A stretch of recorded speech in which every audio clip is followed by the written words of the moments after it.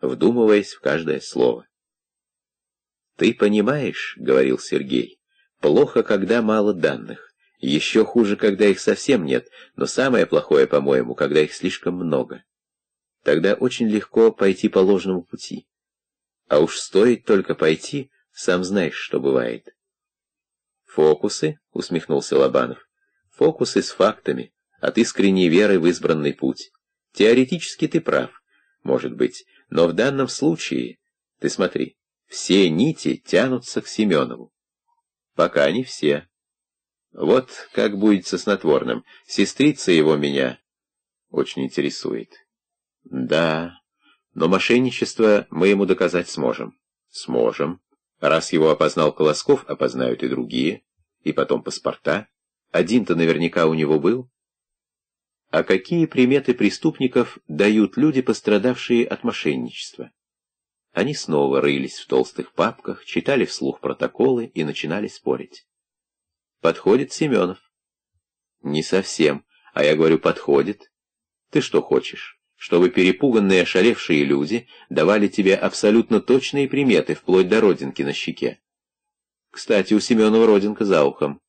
Вот-вот, хочешь, чтобы к нему за ухо заглядывали? Ты слушай, что этот Волков сообщил.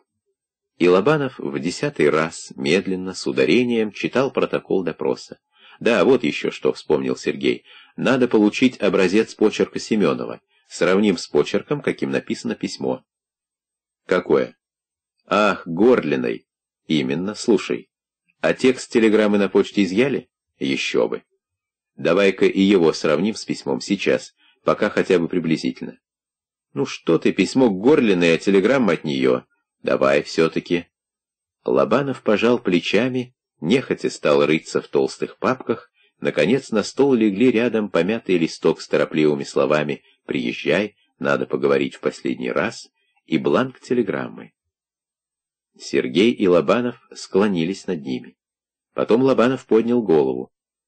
«Да, я тебе доложу, просто голова идет кругом, ведь одна рука писала». Завтра же направим на графическую экспертизу. Это уже черт знает что. Сергей с сомнением посмотрел на друга. Может, мы просто устали, а? В напряженной тишине, возникшей на миг в кабинете, неприятно резко прозвучал вдруг телефонный звонок. Лобанов торопливо снял трубку. «Александр Матвеевич», — узнал он голос Урманского, — «я уже в гостинице, а вы? Девятый час ведь». «Идем», — ответил Лобанов. Спускаясь по лестнице, они договорились, больше о делах не говорить. Хватит, действительно уже устали. И, может быть, последнее их открытие им просто приснилось. Но все это завтра. На улице было темно и холодно. Резкими порывами налетал ветер, бросая в лицо колючую ледяную крупу. И все-таки в гостиницу решили идти пешком. Пусть продует. Оба чувствовали необходимость на что-то переключиться, хотя бы на борьбу с ветром, на мелкие уличные впечатления, даже просто на ходьбу. Оба перекурили и сейчас жадно вдыхали морозный свежий воздух.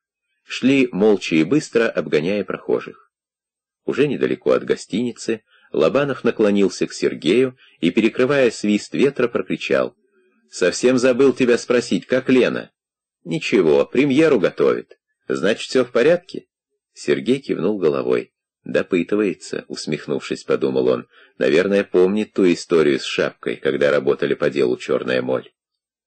Они вошли в вестибюль гостиницы, раскрасневшиеся, слегка запыхавшиеся, и сразу увидели Урманского. Молодой журналист нетерпеливо разгуливал между креслами в распахнутом пальто, вздвинутой на затылок меховой шапки со спущенными ушами. В руке он держал тонкую кожаную папку на молнии, стесненной надписью «Аэрофлот». Сразу заметив входящих, Урманский с улыбкой направился к ним, небрежно размахивая папкой. Когда все трое вошли в номер, и Сергей прикрыл дверь, Урманский торжественно объявил. Поступило предложение, Сергей Павлович, скромно отметить ваш приезд. Он вытащил из внутреннего кармана пальто бутылку вина. Надеюсь, возражений нет? Догадливый народ эти журналисты. Засмеялся Сергей. Какие могут быть возражения? Особенно наши журналисты, заметь, — вставил Лобанов и хитро взглянул на Урманского. Но действуют они всегда, как вы говорите, с подтекстом, да? Урманский в ответ коротко хохотнул. А ну вас, Александр Матвеевич, не признаете вы бескорыстное движение души? Ладно, вмешался Сергей. Как говорится, если вино откупорено, оно должно быть выпито. А насчет этого самого подтекста он подмигнул. Он у нас тоже есть. Выражение лица у Лобанова вдруг стало озабоченным. Он внимательно огляделся по сторонам, приподняв скатерть, заглянул под стол, потом отдернул штору, за которой помещалась кровать с тумбочкой, и осмотрел там все. «Чего это ты ищешь?» — невинным тоном осведомился Сергей. Как говорил боцман Приходько с грозящего, раз пошло такое дело, режь последний огурец. Тебе на хранение был оставлен небольшой черный чемоданчик. А, так я его сдал администрации. Думал, предыдущий жилет забыл. Неужели сдал? Картинно испугался Лобанов. У тебя что же, обоняние атрофировалось? А я не сыскная собака. Зачем мне обоняние? Неоперативное чутье. Все, старик, выходишь в тираж. Хорошо еще, что у тебя есть такие друзья, как я. Он демонстративно принюхался и, словно влекомый какими-то невидимыми магнитами, проделал сложный путь по комнате, потом приблизился к Сергею, грозно потребовал «А ну дыхни!» Сочувственно покачал головой и, наконец, стремительно исчез в прихожей. Урманский хохоча повалился на диван. Через секунду Лобанов появился в комнате, держа в руке чемоданчик. Он торжественно поставил его на стол и объявил. «Я же тебе еще на аэродроме говорил, встреча предусмотрена в двух вариантах. У меня дома и тут, в зависимости от твоих капризов. Задержалась на сутки по техническим причинам». Тут невольное облачко пробежало по его круглому, веснущатому лицу. Сергей нахмурился. «А что за причины?» — с любопытством спросил Урманский. «Мы не в Америке», — резко ответил Сергей. «Публику развлекать тут нечем». И, меняя тон, повторил. Вино откупорено, его надо выпить. Вскоре все трое уже сидели за столом. «Ну, а как поживает наша общая знакомая?» — спросил Сергей Урманского. «А, — досадливо махнул рукой тот, — представьте, я не могу ее найти». «То есть как найти?» — удивился Сергей. «А так. Ни за что не разрешила проводить себя. Я еле выпросил телефон дяди. Сегодня звоню, отвечает какое-то учреждение, наверное, перепутала». Он повернулся к Лобанову. «Хоть бы вы помогли, Александр Матвеевич. Пожалуйста, имя, фамилия. Только имя. Марина». «Хм, маловато». «Марина», — задумчиво повторил Сергей. «Где-то мне попадалось сегодня это имя». Лобанов с напускным равнодушием ответил. «Марина Иванова из Волгограда». «Ах, да! Но я ее найду, вот увидите». Урманский стукнул кулаком по столу. «Желаю успеха», — улыбнулся Сергей. «И если найдете, поделитесь радостью». «Да, вы еще отобьете». Урманский подмигнул с самоуверенностью, не знавшего неудачи человека. Разговор незаметно перешел на Урманского. «Что сейчас сочиняете?» — спросил его Лобанов. «Очерк хочу написать, об одном герое войны. У нас в городе живет. Еле раскопал его, знаете, тяжелый старик. Ничего не рассказывает. А как фамилия? Федоров. Давай-давай, покровительственно произнес Лобанов. Это лучше, чем о жуликах писать. Почему же? И о вашей работе надо писать, в меру, конечно, Урманский засмеялся, не вызывая нездоровый интерес. Ушли гости поздно. На следующее утро, едва Сергей пришел в управление, ему позвонил Лобанов и нетерпеливо спросил. «Ты уже здесь, наконец?» «Здесь. А что случилось? Так в той телеграмме волнуйся, подробности письмом. Иду к тебе. Ты пока волнуйся. Лобанов ворвался в кабинет взъерошенный и раскрасневшийся, держа в руках тонкую папку с болтающимися шнурками. «Ты только взгляни!» — еще с порога начал он, но тут же плотно прикрыл за собой дверь. «Взгляни! Ориентировка из Москвы. Она разошлась с нашим запросом. Так вот, Похитив крупную сумму денег, скрылась кассир строительного управления Нина Викторовна Горлина. Второе. Не переводя дыхание, выпалил Лобанов и положил на стол еще одну ориентировку. Разыскивается исчезнувшая из Волгограда гражданка Иванова Марина Владимировна. «Ну и ну», — озадачно произнес Сергей, — «вот это сюрприз». Глава четвертая. Засада на самого себя. В дверь негромко постучали. «Войдите», — крикнул Сергей. На пороге появилась сухая, подтянутая фигура Храмова. «Ты чего, Николай?» — спросил Лобанов. «Разрешите обратиться к начальнику отдела, товарищ подполковник?» Поглядел тот на Сергея. «Обращайтесь, обращайтесь. Меня, между прочим, Сергеем Павловичем зовут». Его начинали раздражать официальные манеры Храмова, а тот невозмутимо доложил Лобанову. «Задержан Валька. Вы его сами хотели допросить». «Да?» — Лобанов оживился. «Сейчас придут и начинай». «Как Семенов?» — спросил Сергей у Храмова. «Пока ничего нет, Сергей Павлович. После работы зашел в продуктовый магазин. Купил бутылку коньяку, закуску, лимоны, коробку конфет, но гостей не было. Сам тоже из дому не выходил, а с утра торгует. Выходит, выпил и слопал все сам, усмехнулся Сергей. Не установлено. И не требуется. Сергей еле удержался от насмешливого тона. Как бельчья шубка, не появлялась? Так точно, не появлялась. Сергей обернулся к Лобанову. Кто такой этот Вальк? Второй курец. Помнишь, я тебе вчера говорил? А, гашиш. Во-во, дело серьезное. Так ты иди, начинай, повторил он, обращаясь к храму. Слушаюсь. Когда тот вышел, Лобанов вздохнул. Так что же будем делать дальше? Прежде всего думать. Давай. Значит, Горлина совершила крупную кражу и убита. Так? Марина Иванова, которой она собиралась ехать, исчезла. Так? И связь с ними Семенова не установлена.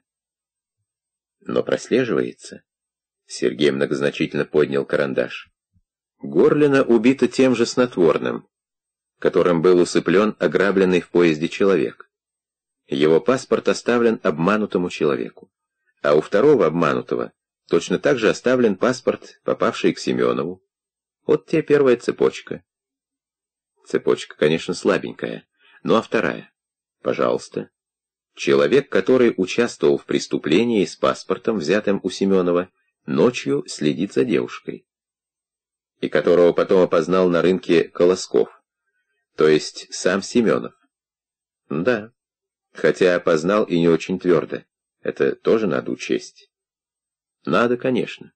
Но с этой девушкой Семенов, ну, по крайней мере, знаком раз она к нему потом на рынок пришла. Вот именно. Да, но эта цепочка не ведет ни к Горлиной, ни к Ивановой. Пока не ведет, с ударением поправил Сергей. И вообще тоже слабовато. Ну, милый, а с чего мы всегда начинаем? Это, конечно, верно, вздохнув, согласился Лобанов. Сергей, улыбаясь, поглядел на друга. А теперь задача из области эвристики. Это еще что такое, удивился Лобанов. Наука о творческом мышлении, только, к сожалению, зарождается. Применительно к нашему делу это выглядит так. Собраны факты, чувствуется их логическая связь, но построить из них железную цепь, обнаружить недостающие звенья, а затем пройти по ней к цели, то есть раскрыть преступление – для этого у нас с тобой нет сейчас готового рецепта, уже известного метода. Наш прошлый опыт не содержит какой-нибудь готовой схемы, которая была бы пригодна для возникших условий. Надо создать новую, совсем новую схему, новый план решения, то есть совершить, как говорят, акт творчества. «Ишь ты, акт творчества», — засмеялся Лобанов. «Ну, соверши, соверши, если ты такой ученый». Сергей, улыбаясь, развел руками. «Я же говорю, наука только зарождается. В идеале будет так. Возникла новая задача, ты принимаешь некое лекарство, действующее на определенные мозговые центры, и к тебе вдруг приходит вдохновение, приходит открытие. Представляешь? «Ну, это через сто лет», — махнул рукой Лобанов. А я вот где-то про Чайковского читал. Он говорил, вдохновение — это такая гостья, которая не любит ленивых. Садись, работай, вдохновение и придет. Это, брат, пока вернее будет. Что ж, давай как Чайковский. Сергей с усилием потянулся. Может, что и придет. Значит, первая цепочка выглядит так. Он взял лист бумаги, нарисовал несколько кружков и соединил их стрелками.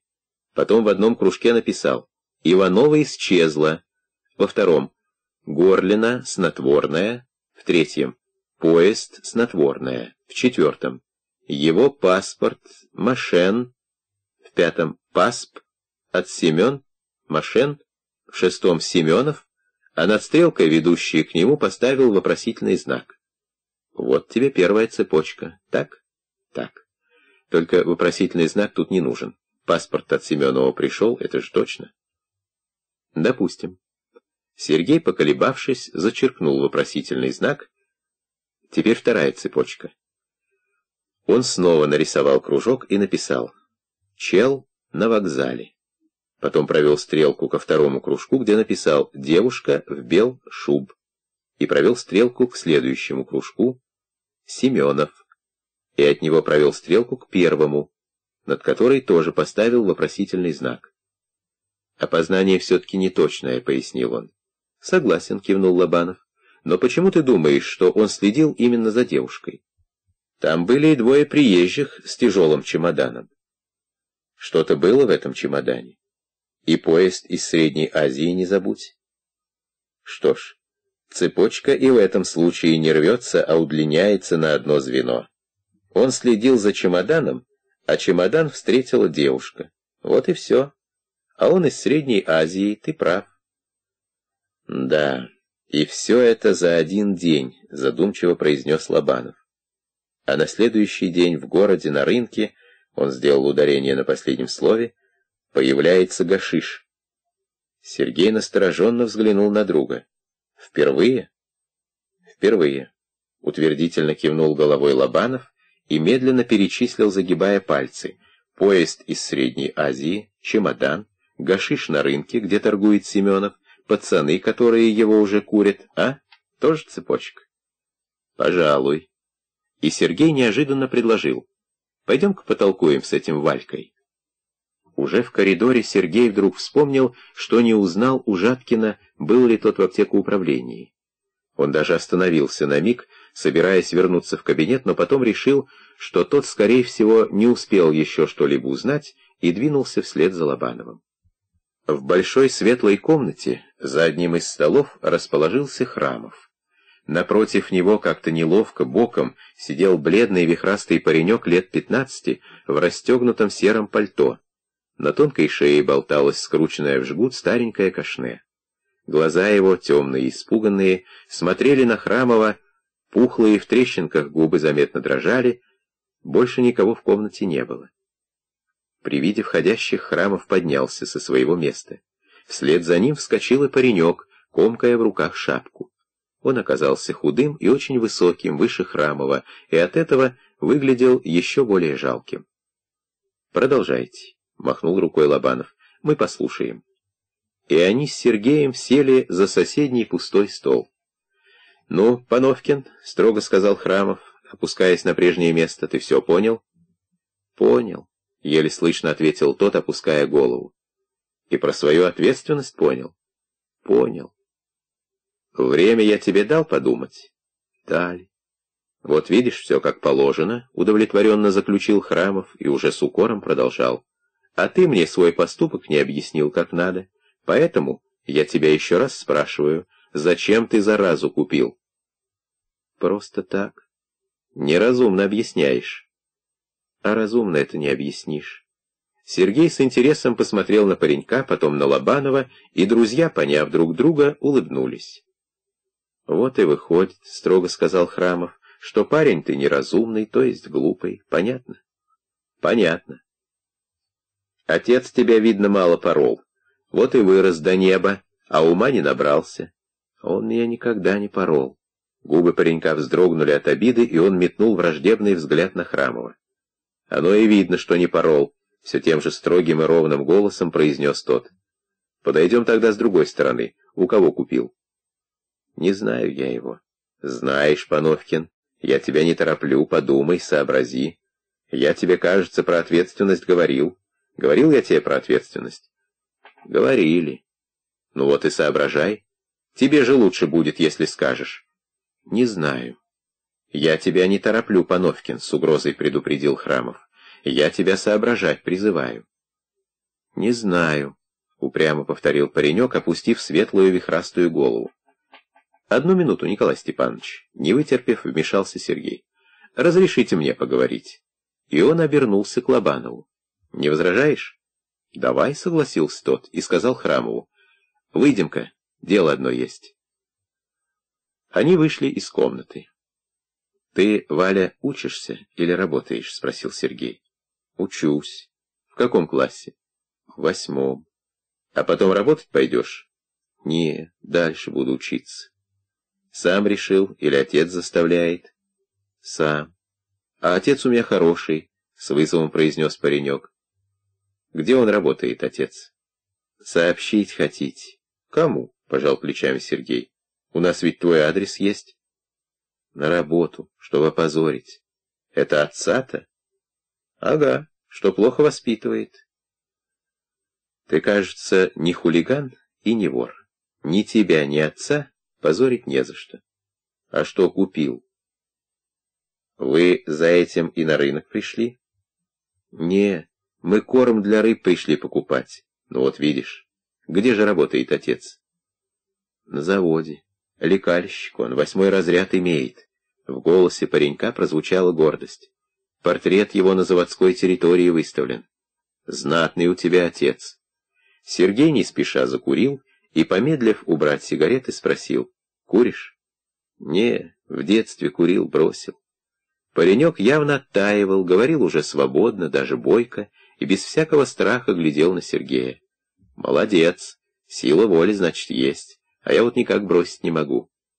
У вас работа нервная. Это верно, вздохнул Сергей. Вот хоть случай с вами. Преступление вы, конечно, не совершили. Вред только, огромный вред для здоровья. Но ты, допустим, парень с головой, попробовал. А, кстати, приятно показалось? Не, голова кружится, знаете, медленно так, как в тумане кружится, и вкус какой-то сладковатый. Другому может и понравиться. Ну, я соображаю, что к чему. А вот Гошка, ну он совсем пацан, говорит, давай завтра еще купим. Я ему кулак дал понюхать, во, говорю, если купишь. Сергей рассмеялся. Думаешь, подействует? А как же, мы с ним дружим. Вот, Валя, в чем опасность. Всем-то кулак понюхать не дашь, значит, как их, дураков, спасать? Торговлю запретить надо, правильно, запрещена, а дальше... Дальше? Ну, штрафовать, что ли, кто торгует. Штрафовать, улыбнулся Сергей. Вот, допустим, на тебя бандит напал. Кошелек с получкой отнял и ножом два раза ударил. Его тоже штрафовать? Сравнили. Правильно, сравнение не подходит. Рана может зажить, человек здоровым станет. Из другой получки дела свои поправит. А вот если курить ту заразу начнет, нервное расстройство и, в конце концов, гибель верная. Раз. Все получки на это пойдут. А когда не хватит, преступление человек совершит, чтобы деньги достать. Это два. А три. Приятелей втянет, их погубит. Ну-ка сравни, что опаснее. Сергей сам не заметил, как голос его задрожал от гнева. «Да», — тихо ответил Валька, — «это вы верно». «То-то и оно», и другое учти. Грамм один в той закрутке, что он вам продал. А взял рубль так, выходит, тысячу он с килограмма имеет. Ну, половину он отдаст тому, кто этот килограмм ему привез. А вторая — его. Он тебе какой хочешь штраф уплатит и доволен будет. А сам-то, небось, не курит, сам здоровый, небось. Ага, здоровый и рожа красная, уже со зловой подтвердил Валька. Сажать такого надо. Верно, но сам-то он к нам не придет, сажайте меня. Его найти надо. А вы на рынок пойдите, он там. Я сначала не хотел говорить, в общем, боялся. Но раз такое дело, он у пивного ларька торчит. Так и сказал нам. Если еще надо будет, приходите. Он в ватнике черном и в сапогах. Его Сенькой зовут, как Люшный. Это точно, Валя? Сам слышал. Через пятнадцать минут оперативная группа была на рынке. Но Сеньки там не оказалось. Не появился он и в других местах, где обычно бывал. Сеньку искали долго и тщательно, но безрезультатно. «Вот видишь», — сказал Лобанов Сергею, — «еще одно звено, Сенька. Соединились две цепочки, паспорта и наркотики. И за ними обеими маячит одна и та же фигура Семенов», — добавил Сергей. «Но как обнаружить его связь с Горлиной и Ивановой? Вот я над чем голову ломаю. С Горлиной есть один интересный момент. Мы его еще не разрабатывали. Кто был тот человек, с которым она приехала в гостиницу?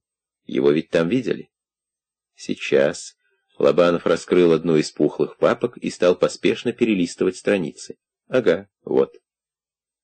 Видели швейцар и дежурная по этажу. Кто их допрашивал? Жаткин. Жаткин? Стой, вспомнил вдруг Сергей. Он еще не вернулся из аптеки управления. Сейчас проверим. Лобанов не успел снять трубку, как зазвонил телефон. «Да? Жаткин? Ну, просто телепатия какая-то. А я тебе собрался звонить, заходи». Через минуту молодой сотрудник уже входил в кабинет. Да, он был в аптеку управлении, был в прокуратуре, его БХСС. Обнаружено дело похищения медикаментов. Оно возникло с полгода тому назад. Преступники были недавно осуждены. Среди похищенных были и снотворное, в том числе и тот проклятый препарат. Сестра Семенова к ответственности не привлекалась, против нее не было улик, по делу проходила как свидетель. Но в любом деле могут быть недоработки, тем более что по работе характеризуется она плохо, и выпить любит, и погулять, и денежки лишние водятся. Кстати, с братцем она дружит. Что ж, согласился Сергей, Недоработки вполне могут быть. Во всяком случае, многозначительно заметил Лобанов, к тому делу она стояла близко. Отсюда, значит, такой вывод, он посмотрел на Сергея. Вывод пока один. Данные не подтверждают, но и не опровергают наши подозрения.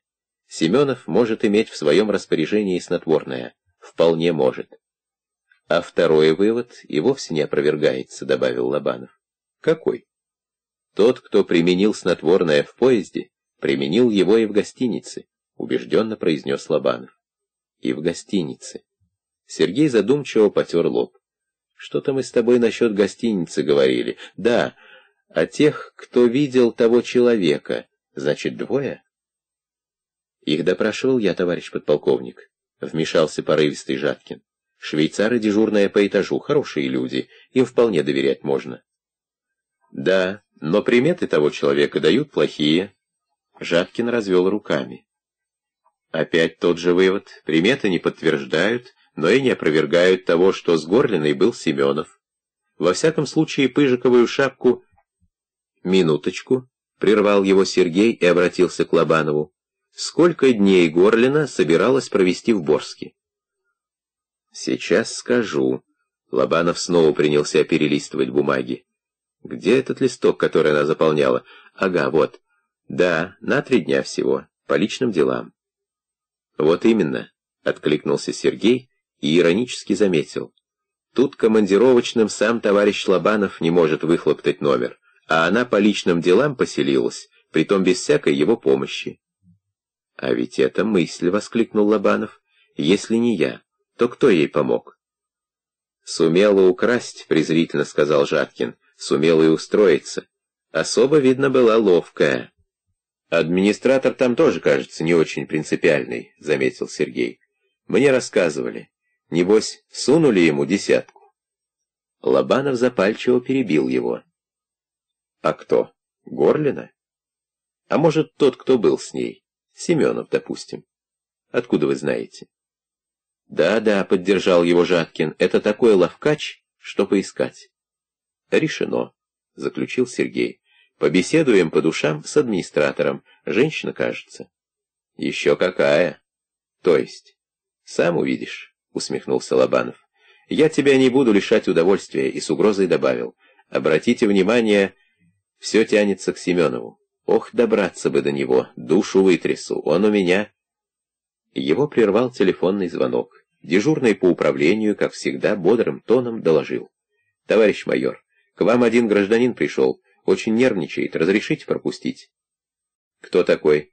«Фамилия Семенов Петр Данилович». «Что?»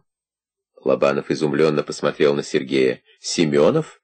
И, придя в себя, заорал в трубку. «Давай его сюда, быстрее, пока он не раздумал!» Потом откинулся на спинку стула и посмотрел на Сергея и Жаткина. «Ну, как это прикажете понимать?» И неизвестно, чего больше было в его голосе — радости или растерянности. «Вот придет и объяснит», — с подчеркнутым спокойствием ответил Сергей. «И помни, мы ровным счетом ничего о нем не знаем». «В том-то и дело. Может, ты с ним поговоришь? А то я, ей-богу, за себя не ручаюсь, когда эту рожу увижу. Ну-ну, зато я ручаюсь, а мне нельзя, и никому другому нельзя. Он же к тебе пришел, может, он тебя знает». «Нет». «Он, гад, определенно чего-то пронюхал», — покачал головой Лобанов, «и теперь опередить нас хочет. В чем-то признаваться прибежал. Вот увидите». Сергей пожал плечами. Он старался не подать виду, что сам удивлен и встревожен. Приход Семенова не сулил ничего хорошего. В этом Сергей был уверен.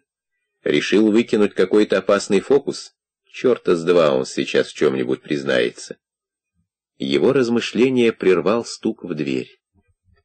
Вслед за тем она тут же приоткрылась, и в кабинет торопливо зашел Семенов. На полном раскрасневшемся лице его отражалась тревога.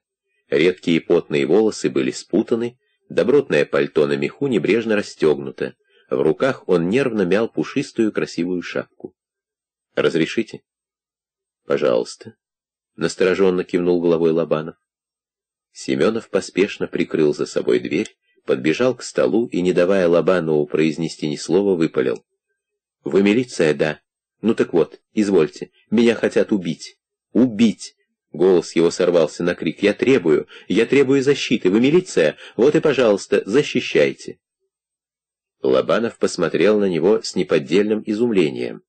«Вас убить?» «Да, да, да, именно меня. Вот, читайте, черным по белому пишут». Он выхватил из кармана помятый конверт и протянул его Лобанову. «Да вы садитесь», — сказал тот, беря письмо. «Я не могу сидеть», — нервно воскликнул Семенов. «Не могу есть, не могу спать. Вы обязаны меня защитить, обязаны».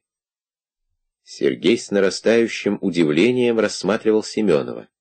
В том, что он не притворяется, что он смертельно испуган, не было сомнения. А впрочем... Вдруг это все игра? Вдруг это ловкий ход, чтобы отвести от себя подозрения? Ведь улики ведут к нему, бесспорные улики. Сергей видел, что и Лобанов охвачен сомнениями, что и на него произвел впечатление истеричный напор Семенова. И мысленно говорил ему «Спокойнее, Сашка, спокойнее, делай вид, что веришь». Между тем Лобанов вынул из конверта сложенный листок и, расправив его, медленно прочел вслух. Ночью придем, убьем, как собаку. Он поднял глаза на Семенова, и тот ответил ему затравленным взглядом, губы его дрожали. «Что это значит?» «Я не знаю, что это значит», — захлебываясь, прокричал Семенов. «Они просто хотят меня убить. Они хотят убить, понимаете вы?» «Нет, гражданин Семенов, не понимаю», — усмехнулся Лобанов. «Просто так не убивают». Он уже пришел в себя и теперь спокойно, с иронией разглядывал посетителя. «А я вам говорю, не знаю, хватайте их, хватайте и все. Пусть они потом объясняют, что это значит. А иначе, иначе я не пойду домой, вот и все. Вот и все». Он повалился на стул, поерзал, плотнее усаживаясь на нем, и всем своим видом давая понять, что он не двинется с места, пока не будет уверен в своей безопасности. Сергей увидел, как глаза Лобанова сузились от злости, и понял, что сейчас он скажет что-то резкое и, может быть, не очень обдуманное. Решив опередить его, он озабоченным тоном произнес. Заявление гражданина надо обдумать. Семенов обернулся, окинул его быстрым, цепким взглядом и обрадованно подхватил. «Конечно, и принять меры немедленно. Это же надо. Наглость какая! И они придут, они обязательно придут, раз написали. Врет, — подумал Сергей. Все врет. Но в чем тут фокус, я не понимаю. И он серьезно и озабоченно сказал, стараясь убедить Семенова в полном доверии к его словам. Мы вас только попросим написать официальное заявление и письмо это приложить, чтобы было ясно, на основании чего мы действуем. Ради бога, пожалуйста, сейчас же напишу. Вы мне разрешите листок бумаги?» Обратился он к Лобанову. Все молчали, пока Семенов торопливо, ни на минуту не задумываясь, писал заявление. «Укажите там, что причины этой угрозы вы не знаете», — сказал Сергей. «Обязательно, обязательно, а как же?» Семенов кончил писать, решительным росчерком поставил подпись и, не перечитывая, протянул заявление и письмо Сергею. «Я извиняюсь», — как-то вкратчиво и чуть заискивающе сказал он. «А вы кто будете?» «Подполковник Коршунов. А по должности?» «Я из Москвы, в служебной командировке здесь». «Очень приятно, очень», — просиял Семенов. «Тогда я надеюсь, что все будет в порядке». «И без меня было бы все в порядке». «А сейчас вы свободны», — сухо сказал Лобанов. «О принятых мерах мы вам сообщим». «Но я бы хотел...» Сергею вдруг пришла в голову одна мысль, и он как можно мягче, даже с оттенком заботливости, спросил. «Вы хотели бы узнать об этом побыстрее?» «Вот именно. Я же не могу». «Так зайдите к нам», — Сергей посмотрел на часы. «Сейчас два часа дня. Зайдите под вечер, ну, скажем, в пять. Сможете?» «Непременно!» — обрадованно воскликнул Семенов. «То есть минута в минуту буду? Это же... это же для меня вопрос жизни. Вы поймите мое состояние». «Понимаем, понимаем», — добродушно кивнул головой Сергей. «Все понимаем». Семенов поднялся со стула, застегнул пальто. Когда он, наконец, вышел, Лобанов вопросительно поглядел на Сергея. «Ну что ты придумал?» И, не дожидаясь ответа, воскликнул — но прохвост, какой прохвост! Так чего ты придумал? Но прежде скажи, ты понял, зачем ему этот спектакль понадобился? Я нет. И я тоже. А придумал я... Сергей взглянул на притихшего Жаткина. Как вы полагаете, узнает швейцар Семенова? Тот досадливо покачал головой. Вряд ли. Почему? Он мне объяснил, когда я от него примет того человека добивался что рассмотрел его плохо. Они очень быстро прошли Горлиной мимо него. Потом он помог нести вещи к лифту кому-то из приезжих. Горлина сидела в кресле уже одна, причем очень грустная, расстроенная. Так-так. А ее спутник? Он в тот момент стоял у окошка администратора. «Значит, это он насчет номера и договорился?» — воскликнул Лобанов. «Ручаюсь». Сергей кивнул головой. «Согласен.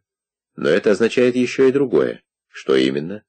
Что администратор узнает Семенова, если это был он, конечно.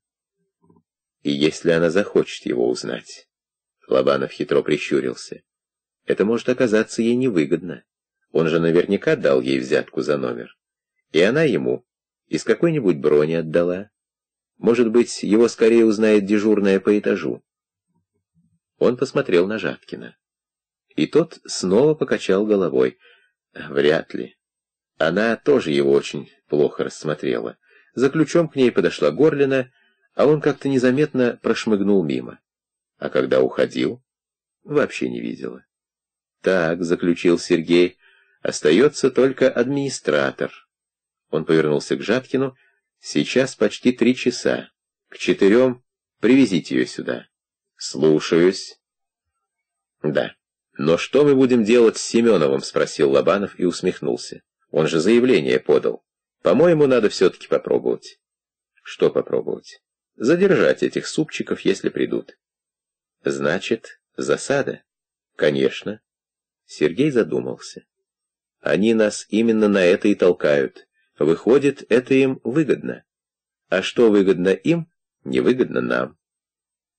«Это, конечно, так», — согласился Лобанов. «Но, допустим, у них ссора произошла, и Семенов избавиться от кого-то хочет, а этот кто-то может нам пригодиться». «Возможно. Но располагать засаду в квартире Семенова рискованно, — покачал головой Сергей. Где он живет?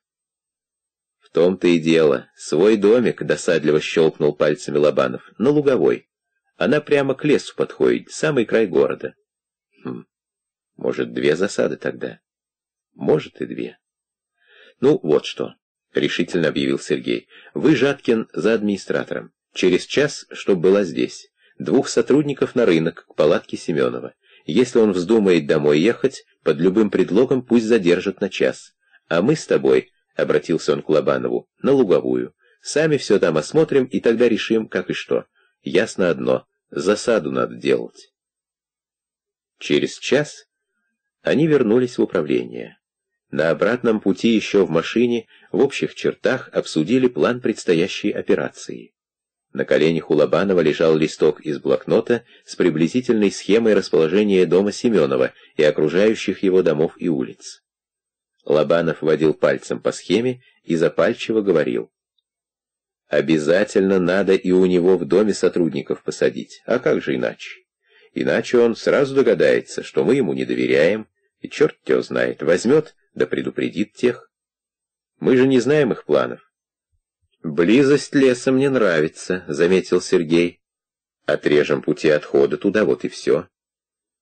А путей, по крайней мере, два. Так и так. Сергей провел пальцем по схеме.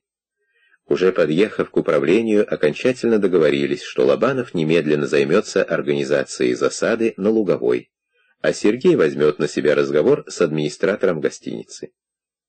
«Это тоже не сахар», — усмехнувшись, предупредил Лобанов. Из кабинета Сергей позвонил Жаткину. «Ну как, Володя?» «Товарищ Склеревская, у меня, товарищ подполковник», — подчеркнуто официально доложил Жаткин. «Разрешите зайти?» Через минуту дверь открылась, и Жаткин галантно пропустил вперед высокую полную женщину в черном платье с ниткой белых под жемчуг бус на пышной груди которые еще больше подчеркивали весь ее строгий облик. На странно узком, холодном ее лице выделялись густо черные брови, и от этого глаза казались окруженными синевой. Пышные темные волосы были зачесаны назад и собраны в тяжелый пучок, открывая высокий чистый лоб. Женщина вошла как-то по-хозяйски, уверенно и твердо, с достоинством, даже несколько высокомерно, кивнула вставшему ей навстречу Сергею. «Присаживайтесь, Галина Александровна», — сказал Сергей как можно любезнее. «И вы тоже», — кивнул он Жаткину. «Я вас слушаю», — требовательно произнесла Склеревская, опускаясь на стул. «Курить у вас, надеюсь, можно?» Не дожидаясь ответа, она вынула из большой черной сумки и положила перед собой блестящую от целлофана пеструю коробочку с сигаретами и изящную заграничную зажигалку. «Пожалуйста, пожалуйста», — радушно ответил Сергей, соображая про себя, как лучше начать разговор. Работа уже давно приучила его быстро разбираться в людях. Профессиональное чутье мгновенно подсказывало ему правильную линию поведения. Но бывали, конечно, и ошибки, более или менее значительные, утвердившие правило никогда не доверять до конца первым впечатлениям о человеке, они порой обманчивы. Первое впечатление о Склеревской было неблагоприятным. Под внешней чопорностью и самоуверенным спокойствием Сергей ощутил в ней что-то настораживающее, что-то неискреннее. Но это могло быть и результатом полученных ранее весьма неопределенных сведений и потому требовало проверки. «Так я вас слушаю, товарищ», — закуривая холодно, произнесла Склеревская. Сергей не спеша закурил вслед за ней, и, откинувшись на спинку кресла и как бы давая понять, что разговор будет вполне доверительным и свободным, сказал. «Речь, Галина Александровна, пойдет о неприятном случае в вашей гостинице позавчера». «О кошмарном случае», — строго поправила его Склеревская и, прижав пальцы к вискам, добавила. «Ах, я вторую ночь не могу уснуть из-за этого. Никакое снотворное не помогает». При упоминании о снотворном Сергей невольно насторожился. «Да, я вас понимаю. Но чтобы уж никакое снотворное не помогало». Он усмехнулся сочувственно. «Вы что принимаете?» «А, все подряд», — страдальчески махнула рукой Склеревская. «И невыносимая мигрень весь день, невыносимая. Она снова прижала пальцы к вискам. «Все-таки, помогите нам разобраться в этом деле», — мягко произнес Сергей. «Боже мой, ну, конечно, все, что в моих силах. Спрашивайте, пожалуйста». «Вы видели эту самую Горлину?» «Видела. Такая молодая, красивая, со вкусом одета. Боже мой, какое несчастье!» Она нервно затянулась сигаретой. «Вы из своего окошечка ее видели?» «Конечно. Разве я могу выйти? У нас кошмарная работа, секунды свободной нет». «Да-да», — сочувственно откликнулся Сергей, — «масса народу, и все ждут, нервничают». «Ах, если бы вы знали, как тяжело отказывать людям, но гостиница не резиновая, вы понимаете?» «Конечно».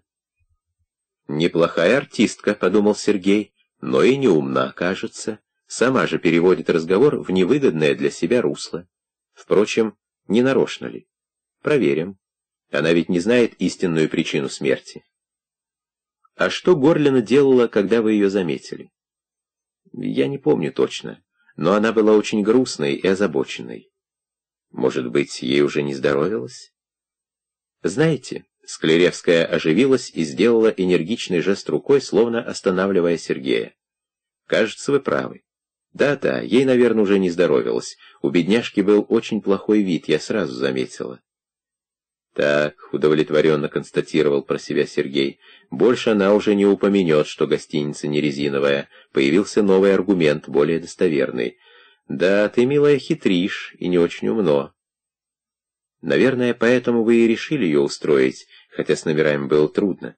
Как бы восхищаясь ее чуткостью, спросил Сергей. «Ну, конечно! Боже мой, я тоже, в конце концов, женщина. Это же кошмар, оказаться больной в чужом городе одна. Правда, ее привез какой-то знакомый, но тут же бросил, ушел, вместо того, чтобы...» «Вот-вот, теперь уже можно упомянуть и о нем», — подумал Сергей. «Он сам вас просил о номере?» «В таких случаях меня не надо просить», — гордо возразила Склеревская. Он только подал документы, как я уже все поняла, и отдала ей последний свободный номер. «Вы очень чуткая и наблюдательная женщина», — улыбнулся Сергей. «Ну что вы, самая обыкновенная», — снисходительно пожала полными плечами Склеевская, явно, однако, польщенная его комплиментом. «И он не говорил вам, что она больна? Вы слишком много хотите от мужчины. В большинстве случаев они такие невнимательные, в ее голосе неожиданно прозвучала кокетливая нотка. «Впрочем», — равнодушно заметил Сергей, — «это мы узнаем от него самого.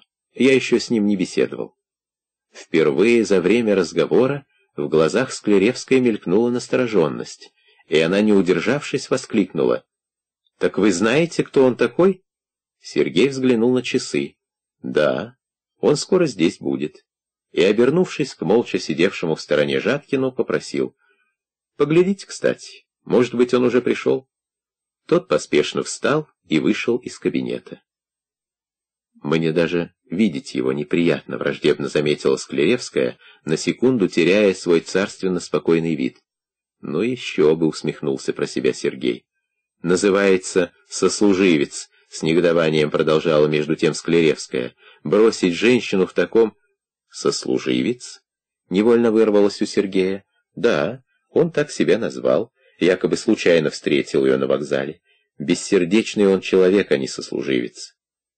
В этот момент вернулся Жаткин и доложил. «Гражданин здесь, товарищ подполковник». «Что ж, Галина Александровна», — сказал Сергей, вставая, — «я больше не смею вас задерживать. Спасибо и извините, что потревожили. Разрешите, я вас провожу». «Ах, что вы!» — кокетливо улыбнулась Склеревская. «Мне неловко вас затруднять». Какое ж тут затруднение? Надо восстановить в ваших глазах репутацию мужчин, ответно улыбнулся Сергей, краем глаза перехватив удивленный взгляд Жабкина. Они вышли в коридор. Около двери кабинета на длинном диване сидел Семенов, нервно теребя в руках свою пушистую шапку. Лоб и пухлые щеки его блестели от пота. Увидев Сергея, он сделал движение, чтобы подняться, но тут он заметил Склеревскую и застыл на месте, поспешно отведя глаза. И Сергей отметил это про себя. «Одну минуту», — сухо сказал он Семенову, — «я сейчас вернусь». Склеревская прошла вперед, величественно вскинув голову и старательно не глядя в сторону Семенова. Только по плотно сжатым губам и напряженному, устремленному вперед взгляду можно было догадаться, что встреча эта была ей неприятна. Прощаясь со Склеревской у выхода из управления, Сергей как бы, между прочим, спросил. «Кстати, вы узнали того гражданина в коридоре?» «Я? Да я его просто не заметила». «Врешь, милая», — подумал Сергей, и не очень умело при том. Что ж, тем лучше. Он стал медленно подниматься по лестнице. Дойдя до третьего этажа, Сергей увидел в конце коридора одинокую сутулившуюся фигуру Семенова на диване и, поколебавшись, решительно повернул назад, вниз по лестнице, туда, где находились комнаты отдела уголовного розыска. В накуренном до синевы кабинете Лобанова сотрудники оживленно обсуждали что-то и разом умолкли, повернув голову к двери, когда она без стука распахнулась, и вошел Сергей. «А вот и он сам», — удовлетворенно констатировал Лобанов. «Ох, и надымили вы, братцы», — покачал головой Сергей, — «аж глаза ест». Лобанов усмехнулся. «Это мы сами дымимся, уточняли план операции». «Он сидит там у меня», — Сергей кивнул на дверь. «Кто будет у него в доме? Пойдемте знакомиться, а то уже седьмой час». «Филиппов, ты иди, Жаткин там». — распорядился Лобанов. Остальные как условились, и, обращаясь к храму, спросил. «Курево, воду, бутерброды заготовили?» «Так точно. Ну все тогда. Машину у подъезда. Отправляйтесь, хлопцы. Рации только берегите. В случае чего мигом у вас будем. Вроде ничего не забыли, так?» Он оглядел сотрудников, потом посмотрел на Сергея. «Разрешите начинать, Сергей Павлович?» При посторонних Лобанов всегда обращался к нему строго официально. «Давайте».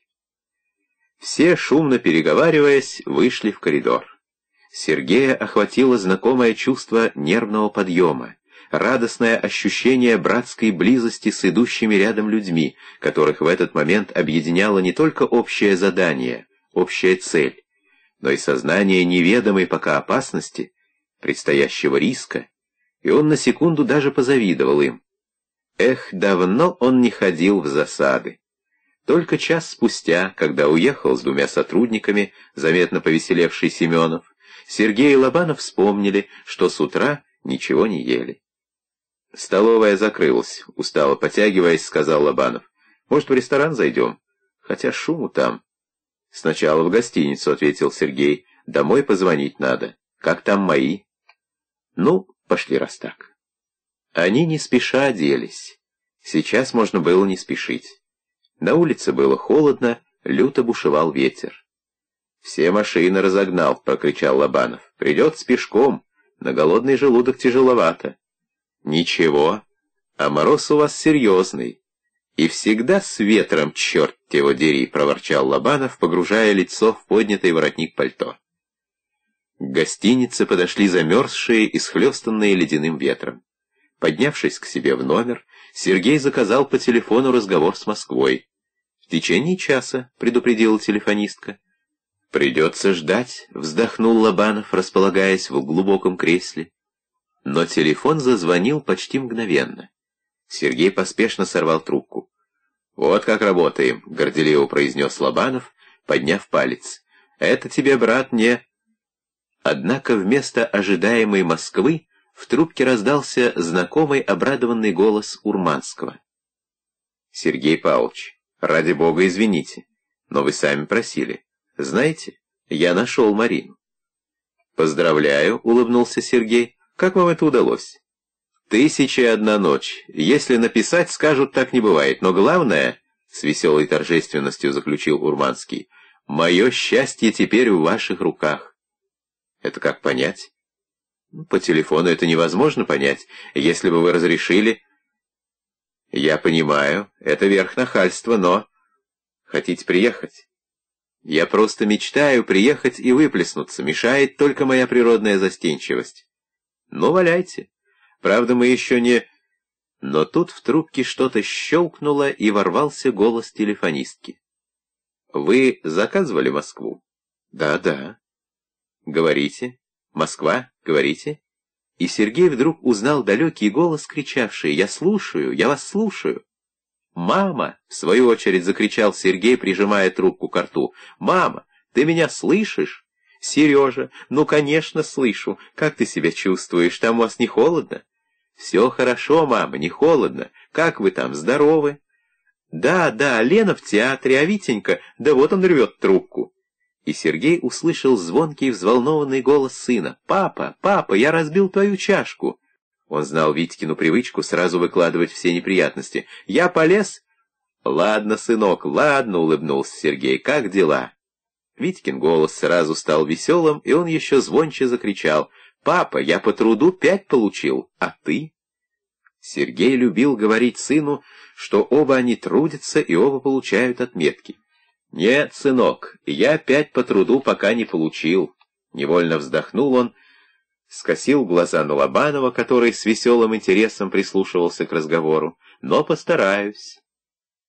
Недолго продолжался этот радостный и беспорядочный разговор, когда вмешался голос телефонистки. «Ваше время стекло, кончайте».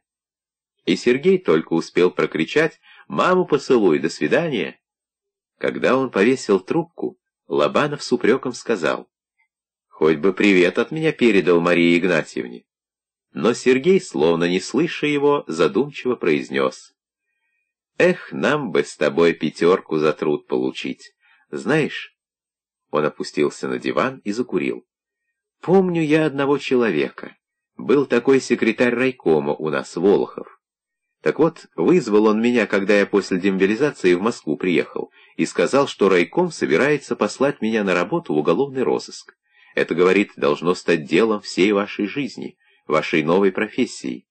И вот сколько лет прошло, и чего только не было. И, по-моему, служим мы с тобой неплохо. А вот легче работать почему-то не становится. Волхова я знал, кивнул головой Лобанов. Оба некоторое время молча курили. Потом Сергей сказал, «Я вот иногда думаю, что у нас за работа? Говорят, мы должны карать за совершенное зло». «Карает суд», — покачал головой Лобанов. «Ну, конечно. Но работа наша все-таки выглядит грубой, даже жестокой, что ли. Найти преступника, схватить его...»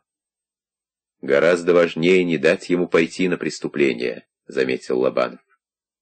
«А что значит не дать пойти? Просто помешать? Нет? Тут надо совершить переворот в его душе. Это же все равно, что вылечить тяжело больного. Я тебе так скажу. Я бы нашу работу поставил рядом с работой учителя и врача. Ишь ты, — улыбнулся Лобанов. А что? Я же понимаю, чего ты улыбаешься.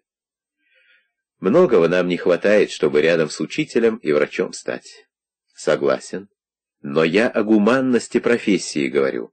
У нас ее только труднее разглядеть, но она есть, если в корень смотреть. Есть. Лобанов сердито вздохнул. А я большую разницу вижу в этих самых профессиях. Вот врач. Он всех своих больных должен, не знаю как жалеть, должен даже, если хочешь, любить. Потому человек перед ним, больной, страдающий, а я всех наших больных любить не могу. И чем тяжелее наш больной, тем я его больше ненавижу. Я сейчас думаю, к примеру, как мне этого подлеца Семенова разоблачить, а не вылечить? Как мне его бандита скорее за решетку спровадить? Ну а потом, — усмехнулся Сергей, — что потом? Ну, спровадил, а потом? А, потом, конечно, лечить его придется, — хмуро согласился Лобанов. Никуда тут не денешься. Вот видишь, придется, значит, лечить, даже Семенова. Ну, а других, кого он, допустим, с пути сбил, запутал или запугал? Что, мы не видели с тобой таких? Лобанов задумчиво подтвердил. Видели? Много таких видели. И все это верно, что ты говоришь. Но сейчас у меня гвоздем сидит в голове Семенов. Как его заставить говорить? Как узнать, чего он придумал? Эх, мечтательно произнес Сергей, читал я где-то записки одного известного психолога-экспериментатора. Однажды он помог раскрыть преступление с помощью гипноза. Интересный случай описал. Ты вообще в это дело веришь? Дело темное. А какой случай? Женщина одна подозревалась в убийстве. Там сложная история была. Я тебе только схему расскажу. И никак, понимаешь, не могли добиться у нее признания. И тело убитого найти тоже не могли. Пригласили этого психолога. Он ее усыпил. Расслабленная воля, лишенный самообороны мозг, и вот во сне она называет место, где убила того человека. А потом едут с ней туда, находят труп, и женщина под впечатлением всего этого признается в убийстве. Вот бы Семенова загипнотизировать. Пусть хоть во сне признается, чего он задумал с этим письмом, засмеялся Лобанов. Сергей покачал головой. Тут есть один важный вопрос. Психолог ставит его, по-моему, правильно. Он доказывает, что таким способом иногда можно раскрыть преступление. А вот допустимо ли таким способом раскрывать? Это он оставляет решать юристам. А почему нет? Мало ли почему. Я не ученый. Но вот с практической точки зрения тут возможно злоупотребление. Взять случай с этой женщиной. Труп могли найти и без нее, а вот убийцу обнаружить не удавалось. Женщину только подозревали. На допросах она все отрицала. Но в результате сеанса гипноза ей вольно или невольно внушили мысль, что она убийца. Под влиянием гипнотизера она даже называет то место, где был обнаружен труп, и где она раньше бывала с тем человеком. Потом ее везут туда, показывают труп, и она, травмированная всем, что увидела, и всем, что осталось у нее в подсознании после сеанса, признается в убийстве, которого не совершала. Может так быть. Ложные признания бывают и без гипноза. Но сознательные, — живо возразил Сергей, — с какой-то целью или по какой-то причине, это все установить можно. А тут бессознательное, эдакое внутреннее убеждение, да и вообще, признание, данное в беспомощном состоянии. Гуманно это? Гуманна цель — раскрыть преступление, покарать преступника. Ну, знаешь, это изуиты утверждали, цель оправдывает средства. «По-твоему, выходит, нельзя пользоваться гипнозом?» — спросил Лобанов. «Ты правильно сказал, дело это темное, пока темное». — с ударением повторил Сергей. «Но, по-моему, нельзя». «А я уже собрался гипнотизера искать», — засмеялся Лобанов. «Этот психолог, между прочим, не только гипнозом пользовался». «А чем еще?» «Расшифровка микромоторных реакций, которые только он и может улавливать. Возьмет испытуемого человека за руку и, так сказать, читает его мысли». «Преступника?» — недоверчиво спросил Лобанов. Вообще-то, конечно, нет, обычно на сеансах у желающих, но был у него случай. Лобанов засмеялся. «С тобой не соскучишься, ну расскажи». Сергей взглянул на часы. «Что-то наш приятель задерживается. Он откуда едет?» «Наверное, из редакции. Ты пока рассказывай». «Ладно. Так вот, был у него такой случай. Подробности я, правда, уже не помню, давно читал. У актера из гримерной украли золотые часы подозревали одного работника клуба. Директор обратился за помощью к этому психиатру. Вызвали подозреваемого. Психиатр ему говорит, что абсолютно верит в его невиновность, но надо, мол, доказать это и другим. «На обмане, значит?» — с сомнением спросил Лобанов. «Ну, иначе тут нельзя. Надо было, чтобы этот человек согласился на опыт». «Да». Ну, в общем, тот согласился. Психиатр взял его за руку. Версии при этом у него было две. Или тот человек спрятал часы, или отдал кому-то. Решил сначала проверить первую, спрятал. Обошли они клуб. Человек был спокоен, психиатр ясно читал его мысль, тут часов нет. Вышли на улицу, подошли к остановке троллейбуса. Психиатр уловил новую мысль, не надо ехать. Сели, поехали. Первые три остановки человек спокоен, но, подъезжая к четвертой, подумал, нельзя выходить. Психиатр это тоже уловил. Вышли. Тот уже явно подавлен, испуган, недалеко бассейн. Психиатр улавливает странную мысль — вода, часы. Сначала не мог понять, а потом ведет того к бассейну и приказывает «в воду». Тот покорно раздевается, ныряет в бассейн и достает камень с целлофановым мешочком, а там часы. Здорово. Восхищенно произнес Лобанов. Сергей улыбнулся. Конечно, здорово. Но, во-первых, тут действительно приходится обманывать. Во-вторых, Семенов, к примеру, тебе руку нипочем не даст. А главное, ты все равно ничего не поймешь. И я тоже. Тут ведь феноменальные способности требуются. Да, Лобанов вздохнул. Семенов, конечно, руку не даст. А ему дашь, так откусит. Его, гада, придется ловить другим способом. «Как-то там наши ребята сейчас в засаде», — сказал Сергей. В дверь постучали. «Войдите». В маленькой прихожей, заполняя ее всю, появилась высокая фигура Урманского, как обычно в пушистой шапке, с опущенными ушами и со знакомой тоненькой папкой в руке. «Сергей Павлович, я понимаю всю бестактность моего вторжения». Он поднял вверх руки и на секунду стал похож на дрессированного медведя. «Раздевайтесь», — кивнул ему Сергей, — «и спустимся в ресторан. Мы умираем голодной смертью». Этого я себе никогда не прощу. Принимая его шутливый тон, воскликнул Урманский. Хотя на меня будут молиться все жулики города. В ресторане гремел оркестр, между столиками кружились раскрасневшиеся пары, сновали с подносами официанты. Сергей, Лобанов и Урманский, оглушенные, остановились у дверях, оглядываясь по сторонам в поисках свободного столика. Изящно лавируя среди танцующих, к ним приблизился худощавый в черной визитке седой метрдотель. «Желаете поужинать?»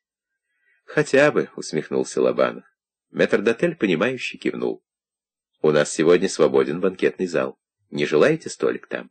Отлично. И Лобанов горделиво покосился на Сергея. Вот как у нас обслуживают. Видал? — говорил его взгляд. Через минуту они уже сидели в небольшом пустом зале за единственным накрытым столом. Музыка сюда почти не доносилась, было прохладно и тихо.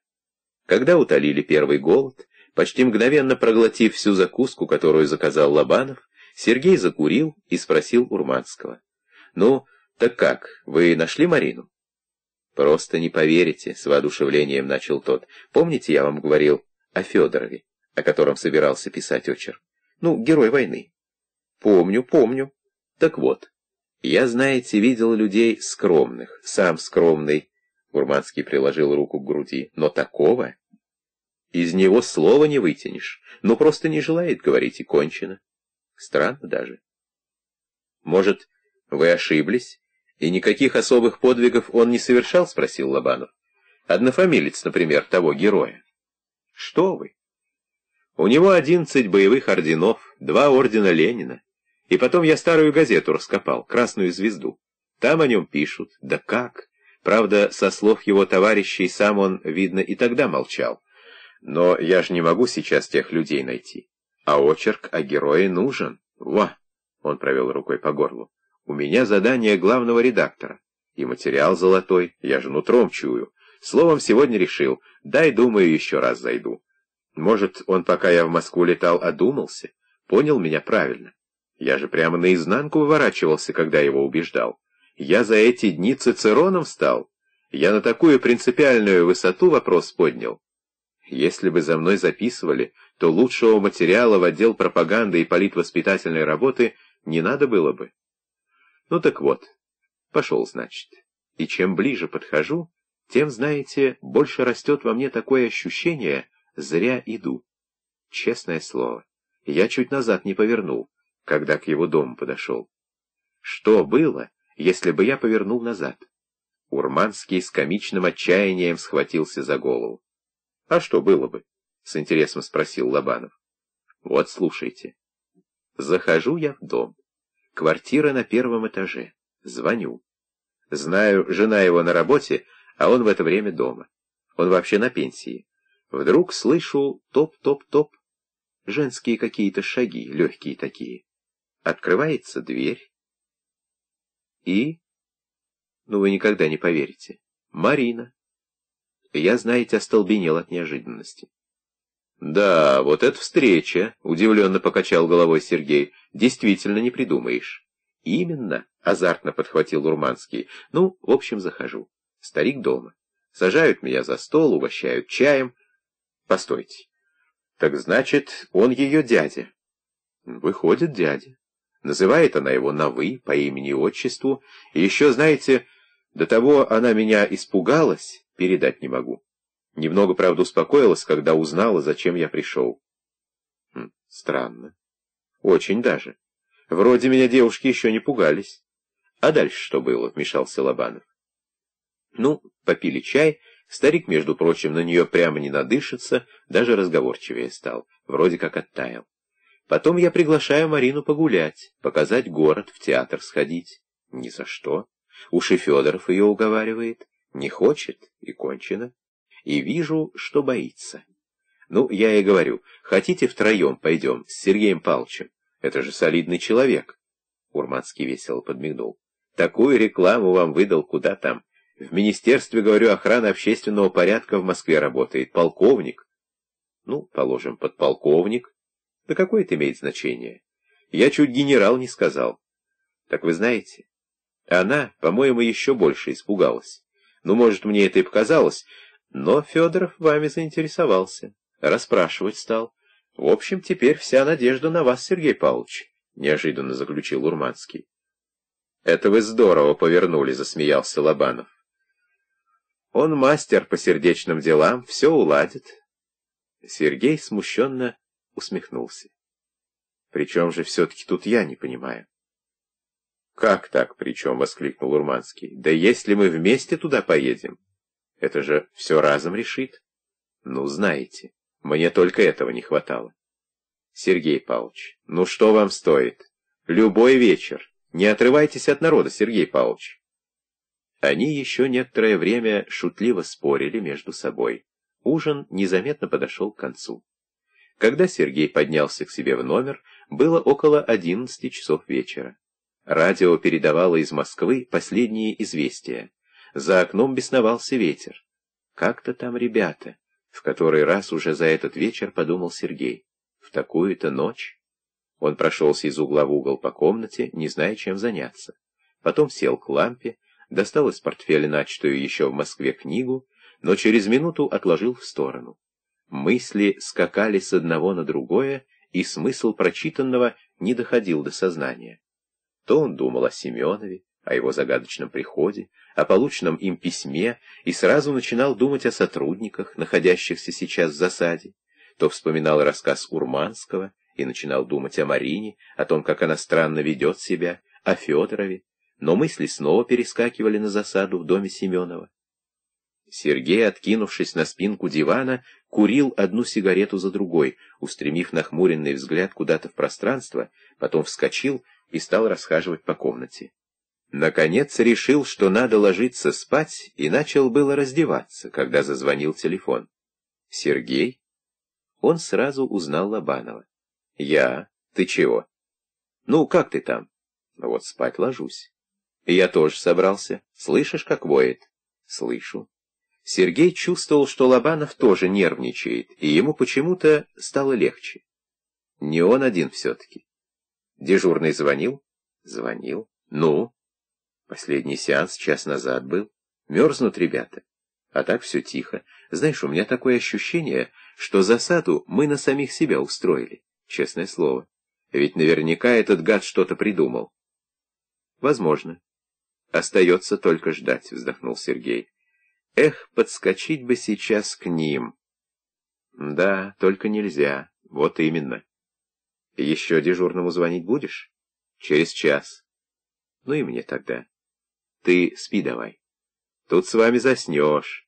Завтра в форме надо быть, наставительно сказал Лобанов. Тебе, между прочим, тоже. Ну, раз так, давай спать. Если что, разбудит. Давай. Сергей раздраженно повесил трубку, черт знает что, как будто первый раз отправил людей в засаду. «Вот сейчас ты ляжешь и уснешь», — мстительно сказал он самому себе и стал поспешно раздеваться. Потом погасил лампочку у кровати, нырнул в холодные простыни и, натянув одеяло на голову, закрыл глаза. И не заметил, как уснул. Засада у Семенова ничего не дала. К нему никто не пришел. Тут же было решено оставить ее и на следующую ночь. Но утром... Лобанов зашел к Сергею и с ехидцей спросил. «Ты, кажется, говорил, что тебе кое-что неясно в поведении Горлиной. Ну, говорил. Насторожился Сергей, предчувствуя новые неприятности. Например, почему она телеграфировала Ивановой, что приедет к ней, а сама приехала сюда? Именно. Хотя ее сюда вызвали письмом, и она... Письмом? Запальчиво перебил его Лобанов, не в силах больше интриговать друга. Так вот, получен акт экспертизы трех текстов. Письма Горлиной, бланка с ее телеграммой Ивановой и листка, который Горлина заполнила в гостинице. Это я уже потом добавил. И что? А то, что все три текста написаны одной рукой, все три. Сама себе, выходит, письмо написала. И какое? Да, ошеломленно протянул Сергей, вот это задача. И в ней чем дальше, тем все больше неизвестных. Я лично ничего уже не понимаю. И я тоже. А потом, между прочим, будем удивляться, как все оказывается просто. До этого потом еще дожить надо. Я, например, рассчитываю, — угрюм ответил Сергей. Но на расстроенном лице Лобанова уже появилась усмешка. Жизнерадостный его характер брал верх над любыми неприятностями. «Ладно», — объявил он. Один древний мудрец сказал, «Пока живу, надеюсь». Старик был оптимистом. «Вот-вот, я эти слова здорово запомнил, со школы еще и тебе советую. Эх, какая у нас историчка Вера Григорьевна была. Теперь таких нет». И совсем бодро заключил, «В общем, давай, вкалывать, дел у нас с тобой хватает». За Семеновым, который, как обычно, открыл утром свою палатку, наблюдали неотступно. Но ничего подозрительного замечено не было. Одновременно продолжали искать Сеньку, но поиски оказались безрезультатными, хотя сотрудники уголовного розыска обшарили, казалось, весь город. Сенька был очень нужен. Украденные им паспорта и неизвестно откуда взявшийся гашиш могли вывести сразу на Семенова.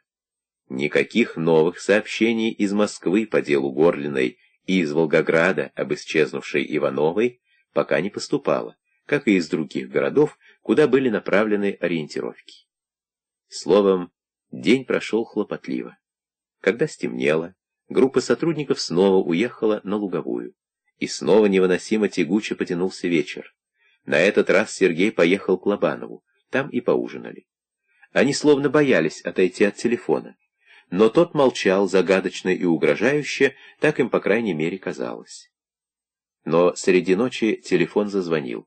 Сергей вскочил с постели и в одних трусах босиком кинулся к нему. Звонил дежурный по управлению. «Товарищ подполковник, вернулась засада с Луговой. Задержали кого-то. Майор Лобанов уже выехал. За вами машина будет через пять минут». Бросив трубку, Сергей стал лихорадочно одеваться. Когда он вышел из подъезда, у тротуара стояла залепленная снегом машина. На улице бушевала вьюга. Ехали медленно. В свистящем снежном круговороте свет фар тонул, как в вате. В кабинете Лобанова собралась вся оперативная группа. Уставшие замерзшие, но возбужденные люди, перебивая друг друга, рассказывали о происшедшем.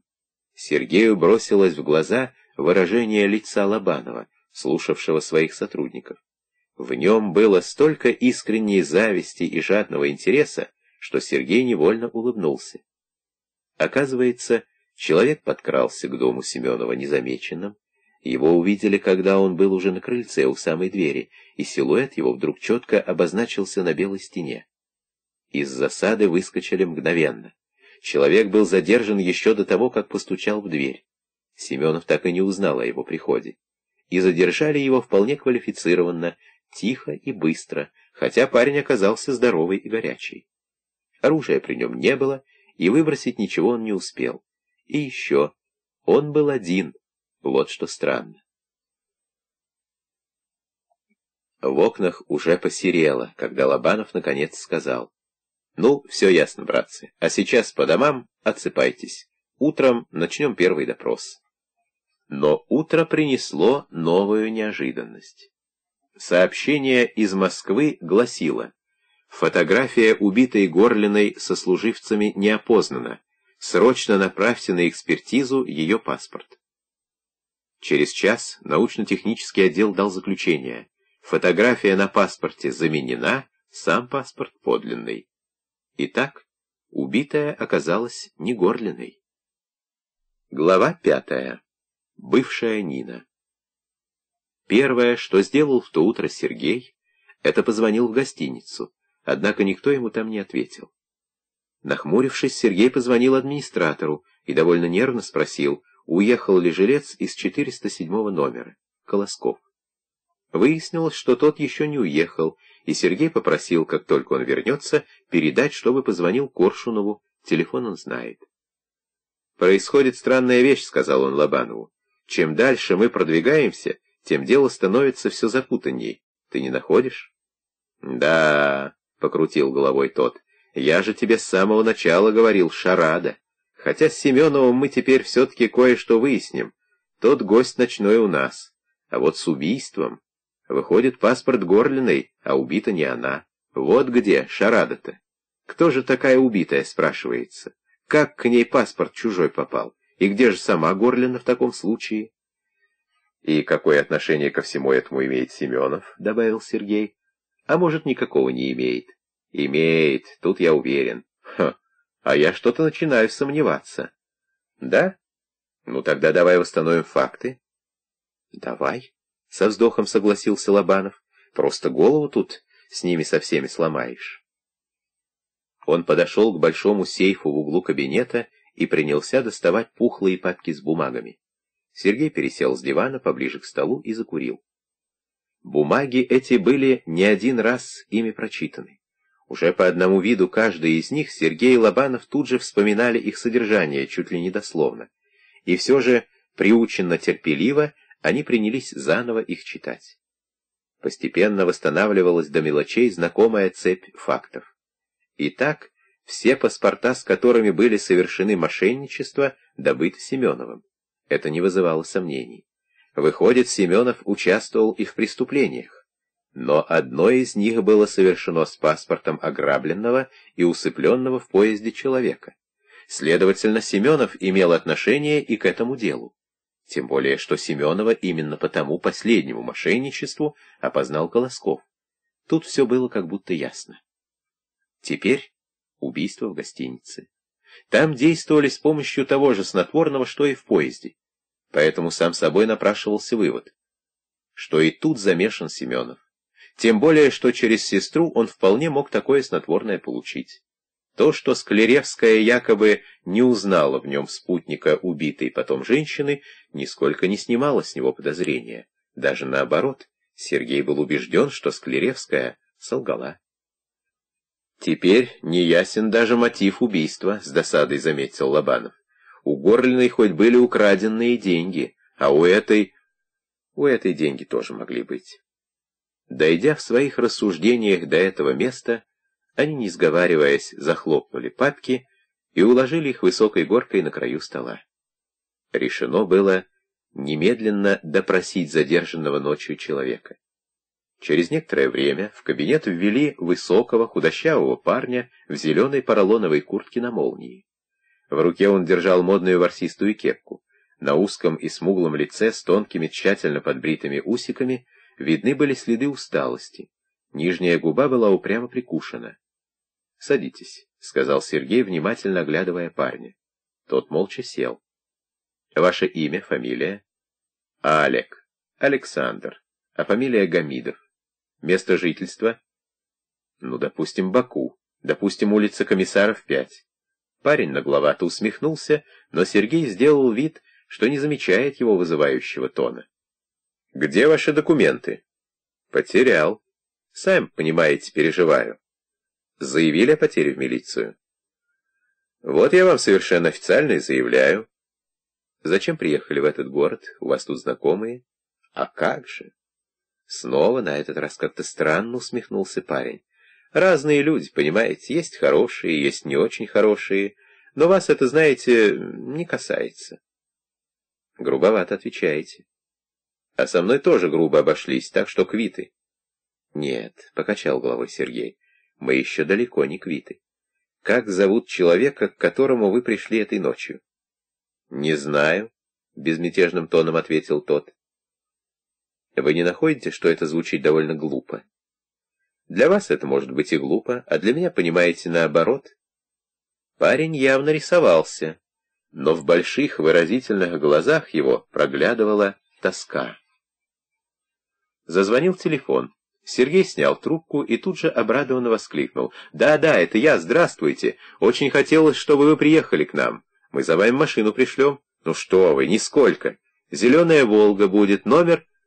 Он вопросительно взглянул на сидевшего в стороне Лобанова, и тот подсказал. «3115». Сергей повторил номер и, положив трубку, почти весело спросил задержанного парня. «Так вы отказываетесь отвечать на мои вопросы?» «Не могу», — тот широко развел руками. «Спать хочу». «Ну так посидите в коридоре. Там и вздремнуть можно». Когда парня увели, Сергей посмотрел на Лобанова. «Ну, что скажешь?» «Интересный парень. Я бы даже сказал, перспективный. Показать решил». «На всякий случай. Высылай машину.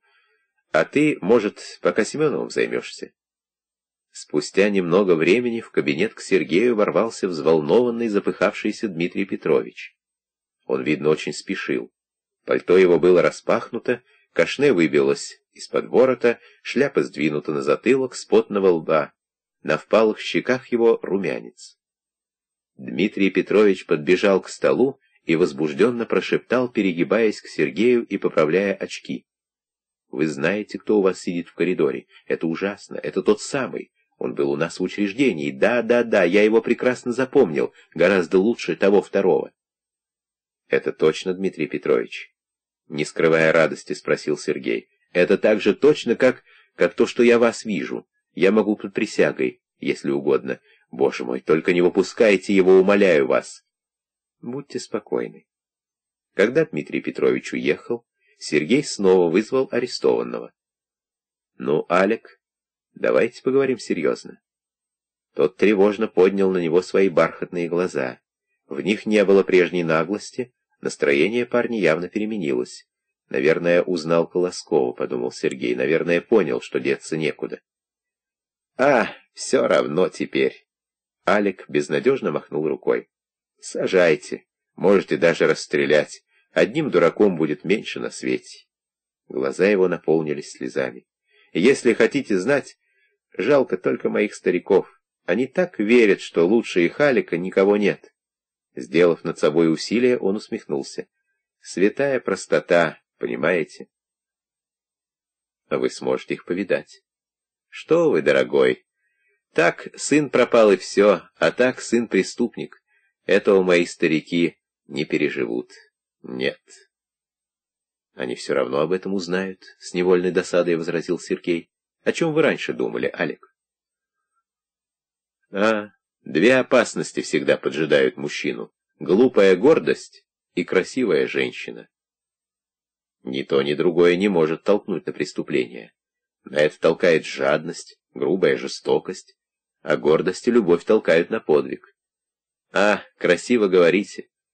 Верно говорю. Хотя вы сказали глупая гордость, а женщине, что она красивая и только. Это, конечно, меняет дело.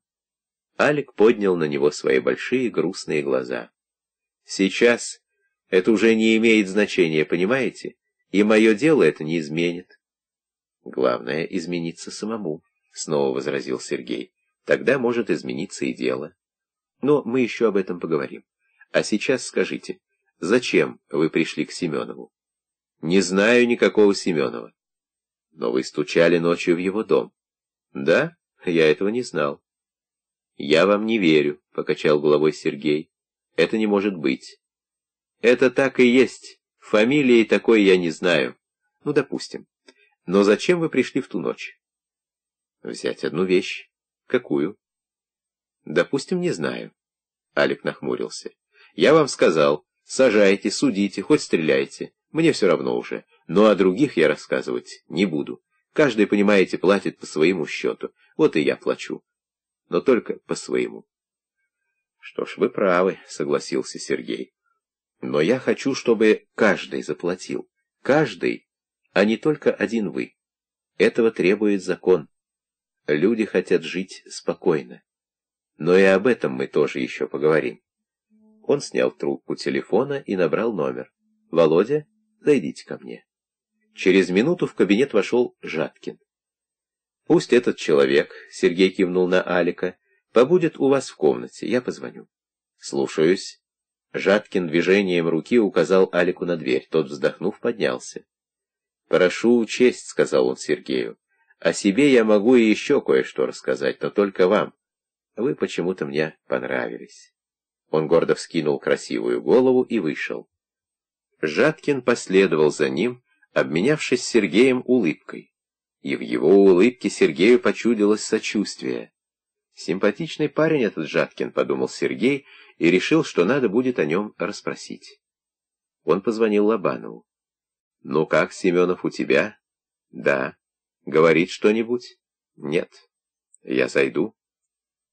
В кабинете у Лобанова сидел Семенов, раскрасневшийся, потный, теплое пальто его было расстегнуто, на коленях лежала пушистая шапка. Увидев входящего Сергея, он воскликнул. «Товарищ начальник, ну что же это такое? Когда этот шантаж кончится? Что от меня хотят? Я ничего не знаю, ничего. И вообще, это, наверное, ошибка. Вы же сами видите, они так и не пришли до сих пор». «Но вы были уверены, что они придут?» «Да, был. Но теперь... Теперь я сомневаюсь». «А они пришли, Семенов?» Сергей пристально посмотрел в его округлившиеся от испуга глаза. «Пришли?» — сразу вдруг осившим голосом переспросил Семенов. «Когда пришли?» «Сегодня ночью». «Не может быть. Почему же я, то есть мы, не слышали ничего?» «Это другой вопрос. Но они пришли, их задержали. Вернее, его. Пришел один человек». Сергей видел, что Семенов испуган по-настоящему испуган. Это было совершенно ясно. Но почему? «Один человек», — с ударением повторил Сергей, — «значит, пришел он не убивать». «А зачем?» «Это мы хотим у вас спросить». «Но... А я не знаю. Пусть он сам скажет». Семенов, наконец, справился со своим волнением и снова перешел на крик. «Он уже сказал, а я повторяю, не знаю. Ну что ж...» Сейчас мы устроим вам очную ставку с этим человеком. Может быть, тогда вы кое-что вспомните. Нет, нет, Семенов в страхе поднял руки, словно защищаясь от удара. Я не желаю его видеть. Я, в конце концов, боюсь. Вот и все. Чего же вы боитесь? Он же арестован. Все равно, все равно. Семенова опять начал бить нервный озноб. Толстые побагровевшие щеки его затряслись. «Мы можем это понять только в одном смысле», — подчеркнуто спокойно возразил Сергей. «Вы боитесь, что он скажет то, что вы сказать нам не хотите». «Ничего подобного, слышите? Ничего подобного! Я...» «Ну хорошо», — вдруг в отчаянии воскликнул он. «Пытайте меня, издевайтесь». «Значит, вы согласны на очную ставку. А что я могу сделать?» «Можете отказаться», — пожал плечами Сергей. Вы не арестованы, и вам не предъявлено обвинение. Ну, конечно, я откажусь, а вы потом «нет-нет, я согласен, пожалуйста», и вы увидите. Через несколько минут в кабинет ввели Алика. Он безразличным взглядом окинул Семенова, потом на миг в глазах его мелькнула усмешка. «Садитесь сюда». Сергей указал ему стул напротив Семенова и предупредил обоих. «Прошу отвечать только на мои вопросы. Друг другу вопросов не задавать, не переговариваться и не спорить. Вам ясно?» Семенов поспешно закивал головой, Алик, усмехнувшись, пожал плечами. «Вопрос к вам, Семенов. Вы знаете этого человека?» «В первый раз вижу», — решительно ответил тот. «Посмотрите внимательней». «Нет, нет, я этого-то э, гражданина не знаю».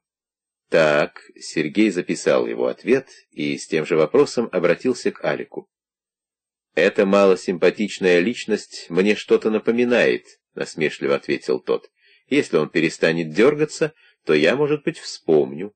Успокойся, дорогой», — обратился он к Семенову.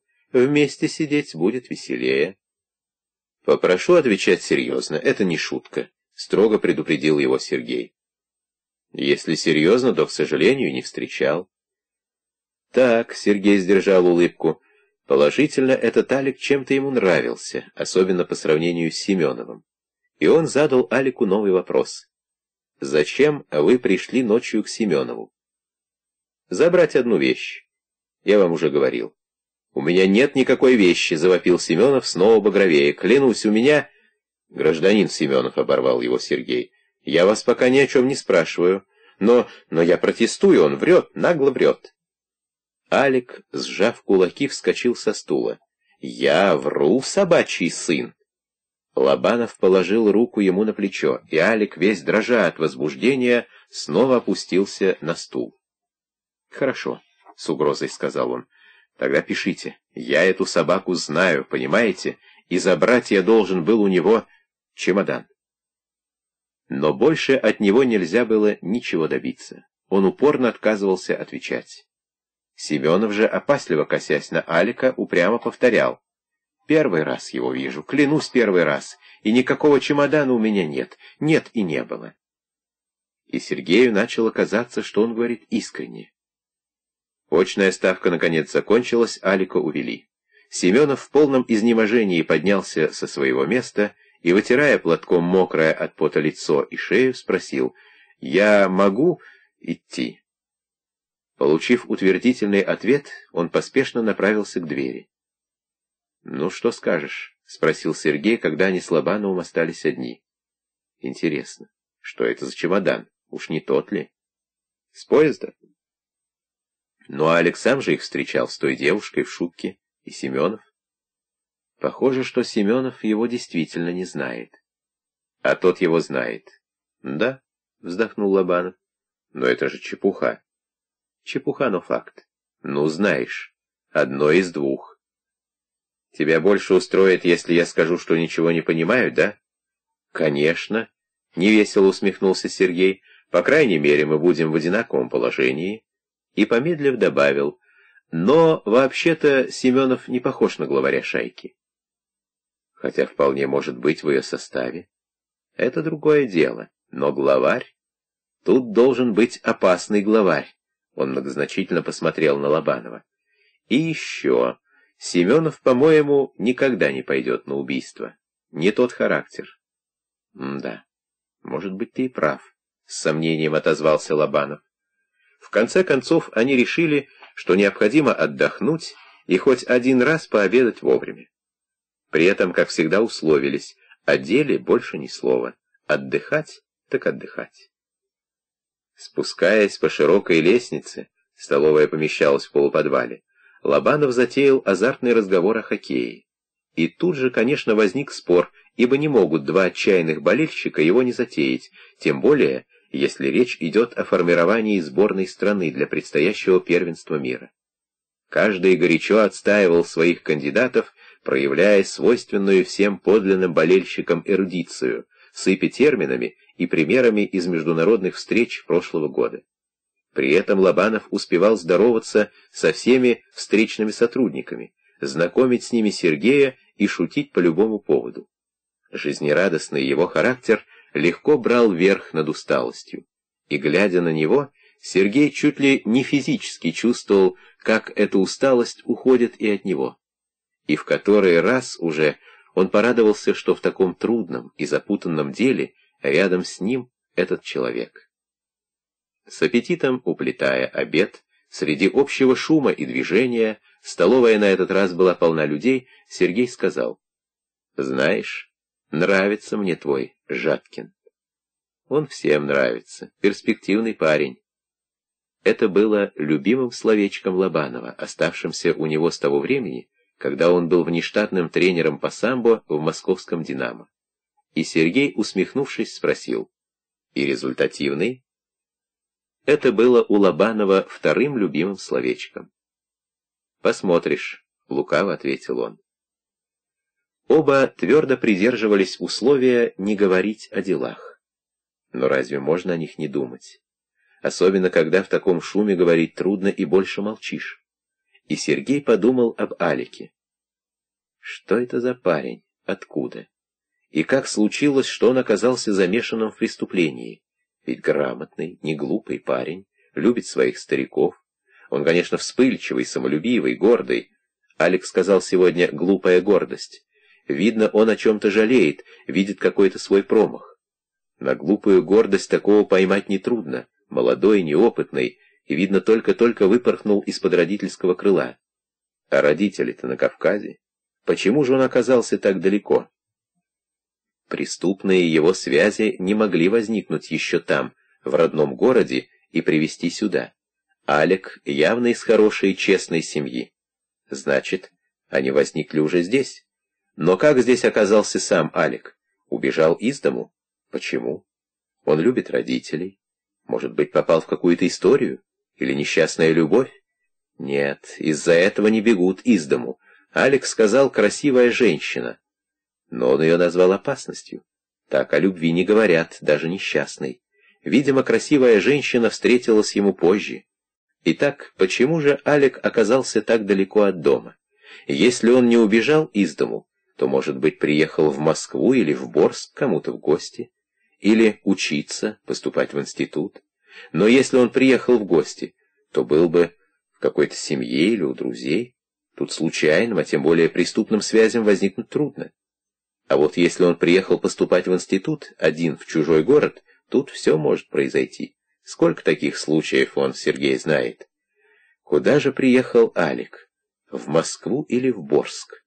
Где его путь вдруг пересекся с путем того главного, самого опасного человека? И на что Алика поддели? На какой крючок? Вот тут, пожалуй, очень к месту будет красивая женщина, но и глупая гордость, конечно. Да, опять перед Сергеем человеческая трагедия. Опять чья-то измятая, исковерканная судьба. И снова тот знакомый уже случай, когда надо бороться не столько против, сколько за человека. А за этого паренька стоит бороться даже с ним самим. «Да ты слышишь меня?» — обратился к нему Лобанов. «Что ты говоришь?» — откликнулся Сергей. Я говорю, ты еще компота хочешь? Нет, нет, пошли. Выйдя из столовой, они закурили и медленно стали подниматься по лестнице. «Мне тут пришла в голову одна мысль», — сказал Лобанов. «По-моему, перспективная. Вот этот самый чемодан, за которым пришел Алик, и те двое с чемоданом на вокзале, так?» «Пожалуй, а дальше?» — поинтересовался Сергей. «А дальше вот что получается. Семенов, которого опознал Колосков, следил от вокзала за теми двумя. А потом Алик приходит к нему за чемоданом. Ерунда? да, непонятно. Так может, это не Семенов следил? Может, Колосков ошибся? Во всяком случае, опознал он его, потом не твердо. Там, на рынке, а вот на вокзале. Иначе бы они за ним не пошли. Вот именно, они. Да, это интересно. Причем два вопроса бы ему поставить, мечтательно произнес Сергей. А какой второй? Алик, еще бы раз убедиться, что он был на вокзале. Стой, стой. Тех двоих с чемоданом встречали высокий парень и девушка в беличьей шубке, так? Это говорит Колосков. А их видел еще и тот толстяк, тем более, что парень был в длинном черном пальто и в шляпе, а Алик... Ну, с упреком произнес Лобанов. «Да, конечно», — согласился Сергей, — «вот именно поэтому». Они здорово научились понимать друг друга, эти старые друзья по Муру. Сергей вздохнул. «Эх, ходим мы рядом с чем-то, но никак не ухватим». «Значит, я с этим толстяком займусь», — заключил Лобанов. «Как-то мы его упустили». «Обязательно. А я пока переговорю с Москвой». И еще раз потолкую с Аликом. Перспективный парень, Сергей подмигнул. Они расстались на лестнице. Сергей зашел к себе в кабинет и, словно только и дожидаясь его возвращения, немедленно зазвонил телефон. Сергей снял трубку. «Товарищ подполковник», — услышал он голос дежурного, — «к вам тут пришел один гражданин. Разрешите пропустить?» «Ко мне?» «Так точно, называет вашу фамилию». «А его фамилия как?» «Федоров». Хм, не знаю такого. Ну, пропустите. Слушаюсь. Федоров, Федоров, знакомая как будто фамилия. Где он ее слышал? За эти дни промелькнуло столько фамилий, столько прошло людей. Федоров. Определенно кто-то называл ему эту фамилию. А, вспомнил. Ох уж этот Турманский, неужели это он его прислал? Все-таки нахальный парень, и старик тоже хорош. Нашли способ звать в гости. Сергей рассердился, и когда в дверь постучали, он недовольно и строго крикнул «Войдите». Огромный человек в полушубке и валенках неуклюже боком зашел в кабинет, скомкав шапку в руке. Седые потные волосы беспорядочно топорщились во все стороны и, небрежно зачесанные назад, открывали широкий, изрезанный глубокими морщинами лоб. Круглое усатое лицо раскраснелось от ветра. Человек нерешительно остановился у порога, закрывая своей мощной фигурой чуть не всю дверь. «Ого!» — с невольным восхищением подумал Сергей. «Вот это да!» Такой в войну мог, конечно, дел наделать и героем стать. Только какое-то чрезмерное его смущение, почти робость, не позволяли представить себе ратные подвиги этого человека. «Проходите, товарищ Федоров, садитесь», — пригласил Сергей. Старик оторвался, наконец, от двери и тяжело в перевалку приблизился к столу. Стул под ним угрожающе заскрипел. Только сейчас Сергей заметил, что в заскорузлой широченной руке его зажат паспорт, казавшийся непривычно маленьким. Положив шапку на колени, Федоров вынул полосатый платок, вытер потную красную шею и, кашлянув, сипло произнес «Вот паспорт, может, того понадобится». Он осторожно, даже как будто опасливо положил паспорт на стол. Сергей все яснее ощущал, что далеко неспроста пришел к нему этот огромный человек, что не пустяковая просьба Урманского привела его сюда, что все гораздо сложнее — и потому так смущен Федоров, так взволнован и чем-то явно подавлен, и сразу вспомнил слова Урманского о том, что старик вдруг заинтересовался им, Сергеем. Федоров, между тем, шумно вздохнул, и светлые его глаза из-под густых растрепанных бровей посмотрели на Сергея испытующе и чуть растерянно. Он словно робел начинать разговор, словно в последний раз мучительно решил про себя, начинать ему или нет. И так не вязались между собой необычная громадность этого человека с тягостным растерянным его взглядом, что Сергей поспешил ему на помощь. Он взял паспорт, раскрыл его и сказал, привычно пробегая глазами записи в нем. «Ну так чем могу служить вам, Степан Григорьевич?» Федоров опустил взъерошенную седую голову и глухо сказал. «Иван Григорьевич, я...» «Выходит, ошибка в паспорте», — улыбнулся Сергей. «Исправить хотите?» «Хочу». «Ну так с этим не ко мне надо». «То-то и оно, что к вам». Сергей уловил в его сиплом голосе какие-то странные нотки, заставившие его насторожиться. «В чем же дело, Иван Григорьевич?» «Дело?» Федоров поднял, наконец, голову и скорбно посмотрел на Сергея. «Дело мое такое. Считай, тридцать лет тянется, и жизни мне никакой нет. Вот какое это дело. Курица на дороге глянет на меня, а я уже вижу в круглых ее глазах ехидство. Знаю, мол, тебя знаю. Воробушек за окном то же самое мне чирикает. А уж про людей не говорю. Кабы знал я, что она такое, страх перед каждым человеком. Федоров медленно, с хриплым усилием, выдавливал из себя слова. И странно, даже жутковато было видеть, как затуманились его глаза, как шевелил он одеревеневшими, непослушными губами. И Сергей, чтобы только рассеять охватившую его тревогу перед тем, что еще скажет этот странный седой великан, с преувеличенной бодростью произнес. «Какой же страх перед людьми, Иван Григорьевич? На фронте, говорят, вы фашистов били, дай бог как». «То не люди», — махнул рукой Федоров. Я про наших говорю. Этот страх, он меня спать отучил. Он у меня всю жизнь отнял на фронте. Там я под пулю сам сперва лез. Убей ты меня, прошу, ну убей, сделай милость, мочи нет. А потом так решил. Русский я человек или кто? Кто никто, а русский. А раз так, должен бить гадов. Потом разберемся, что к чему. Ну и стал их душить, как гнит так что о смерти уже не думал. И ночами они, эти гниды, снились. Да, спокойное для души время было, с неожиданной тоской подытожил Федоров. Сергей молча слушал, чувствуя, как в душе у него растет тревога. Что-то страшное стояло за тем, что говорил сейчас Федоров, и Сергей, не в силах понять что-либо, боялся неверным, фальшивым словом помешать этому человеку в его трудной исповеди. Ну, а после войны вернулся я домой, как и был чужим. Самому себе чужим, вот что главное-то, глухо не поднимая головы, продолжал Федоров. Жена ждала меня, а я ей чужим был. Потому и детишек у нас не было. Боялся я их, детишек своих будущих. Потому что и они... Федоров с усилием проглотил подступивший горлу комок и еще глуше, еле слышно продолжал. Они тоже чужими были бы. Сколько она, жена, то есть, слез об этом выплакала, только я, да еще подушка ее, знаем. Уж я и говорил, брось ты меня.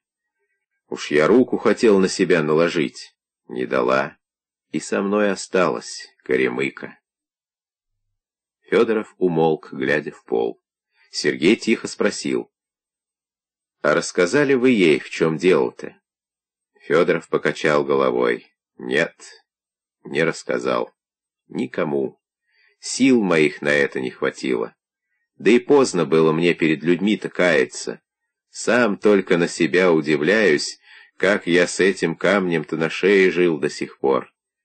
Но вот теперь появилась у нас эта девчушка. Марина? Она. Ну и вы тут из Москвы как раз приехали. Вот я и решился. Он шумно вздохнул и поднял голову. В светлых глазах появилась какая-то скорбная решимость. Из-за себя не стал бы. Мне бы только смерти скорее дождаться. Да вот из-за нее птахи этой. Что же произошло у вас, Иван Григорьевич? Издалека начинать надо-то. Значит так, случилось это давно. Молодой был, грамоты семь классов набрался, в колхозе работал. Послали меня однажды за семенным зерном. Привез.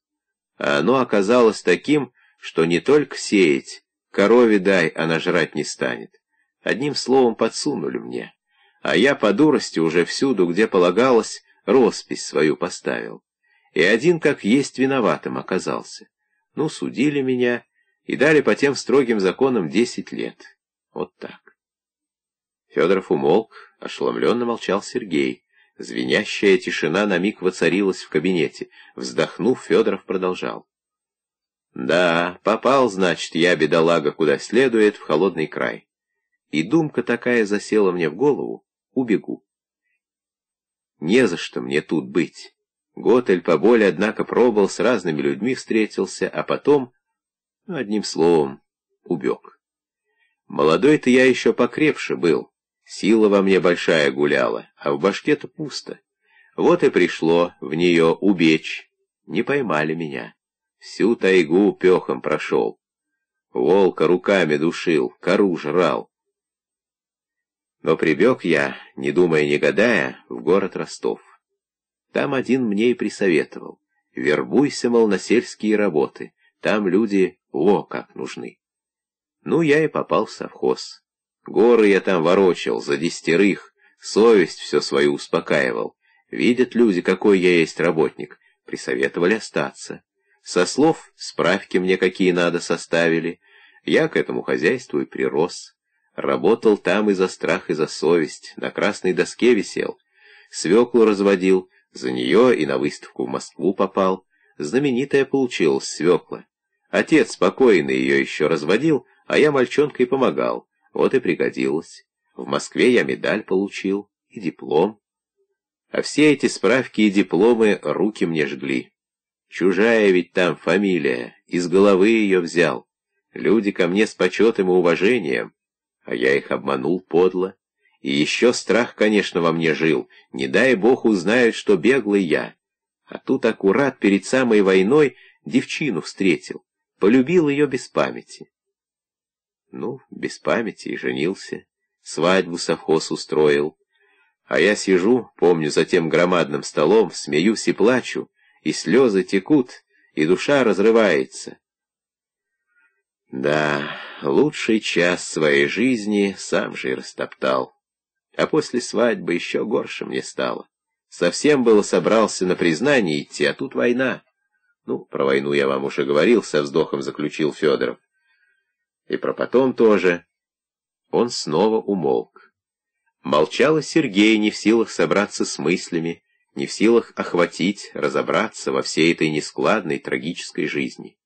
Он понимал, что Федоров ждет от него не прощения, никаких утешительных слов, а избавления, избавления любой ценой, ибо дальше он уже не может носить в себе этот страшный гнет, что настал предел его силам. И Сергей вдруг вспомнил, что сказал Федоров о Марине. Появилась она, вот он и дрогнул, и пришел сюда к Сергею. Но почему же? Как она появилась? Кто она? И словно угадав все эти вопросы, Федоров выпрямился, строго посмотрел в глаза Сергею и твердо, как что-то бесповоротно решенное, уже сказал. «Детев у нас не было, не смел я их иметь, раз обманом жил. А тут появилась под конец жизни эта девчушка. Сирота она круглая, и горе, кажись, тоже хлебнула немало. Вот мы с женой решили принять ее к себе. Но тут уж без обмана надо. Потому и решился я. Нельзя ей чужую, а не свою фамилию-то давать. Она взрослая, Иван Григорьевич. У нее своя фамилия должна остаться. Не имеет значения, твердо возразил Федоров раз с нами жить будет, да и вообще. Вот я к вам и пришел. Может, тридцать лет мук моих. Голос Федорова дрогнул, и он снова проглотил подступивший к горлу ком. Может, зачтет их наша власть? И тихо, еле слышно добавил. Егоров я по рождению. Полагаю, зачтет Иван Григорьевич, кивнул головой Сергей. Полагаю, дело ваше суд пересмотрит. И решительно добавил. Сам к прокурору республики пойду, слово вам даю, только все это написать надо. Федоров растерянно развел руками. Ну где же мне написать про это? А мы вместе напишем. Сейчас. Загорелся Сергей, чувствуя, как отступают куда-то все его дела и заботы перед этой страшной человеческой драмой. И если он не вмешается, не поможет, то никогда себе этого не простит и потеряет уважение к самому себе. В голове пронеслись почему-то мысли о Витьке, об отце, о матери, о войне и фронте, и еще какие-то мысли, лихорадочные, взволнованные, которые он не уловил, которые только жаркой волной обдали его и исчезли. Сергей не понимал, почему дрожит, как в ознобе, его рука, пока он писал заявление на имя прокурора республики, почему все время пересыхает у него во рту. Уже под самый конец, когда заявление было почти написано, Сергей сказал, «Надо, Иван Григорьевич, и о вашем желании удочерить Марину тоже написать, просто чтобы ситуация яснее была». «А как же? Непременно. Желаю, мол, удочерить Марину Владимировну Иванову». «Что?» Сергей, опешив, поднял голову и с изумлением посмотрел на Федорова. «Как ее зовут?» Я же говорю, Марина Владимировна Иванова. Так мы же ее ищем. Сергей все еще не мог прийти в себя от неожиданного открытия. Федоров обеспокоенно нахмурился. Что она такое сделала? Да ничего она не сделала, пропала. Уехала из своего Волгограда и все, а ее там ищут. Так сирота же. На работе забеспокоились, она же работала. Ну, то другое дело. Отпишите им, мол, что нашлась, мол. Это обязательно, но мне бы с ней поговорить надо, Иван Григорьевич. Милости прошу к нам, — сдержанно ответил Федоров.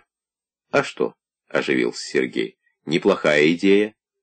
Они закончили писать заявление и условились, что вечером Сергей придет к Федорову. «Вы только Марину не предупреждайте», — попросил Сергей.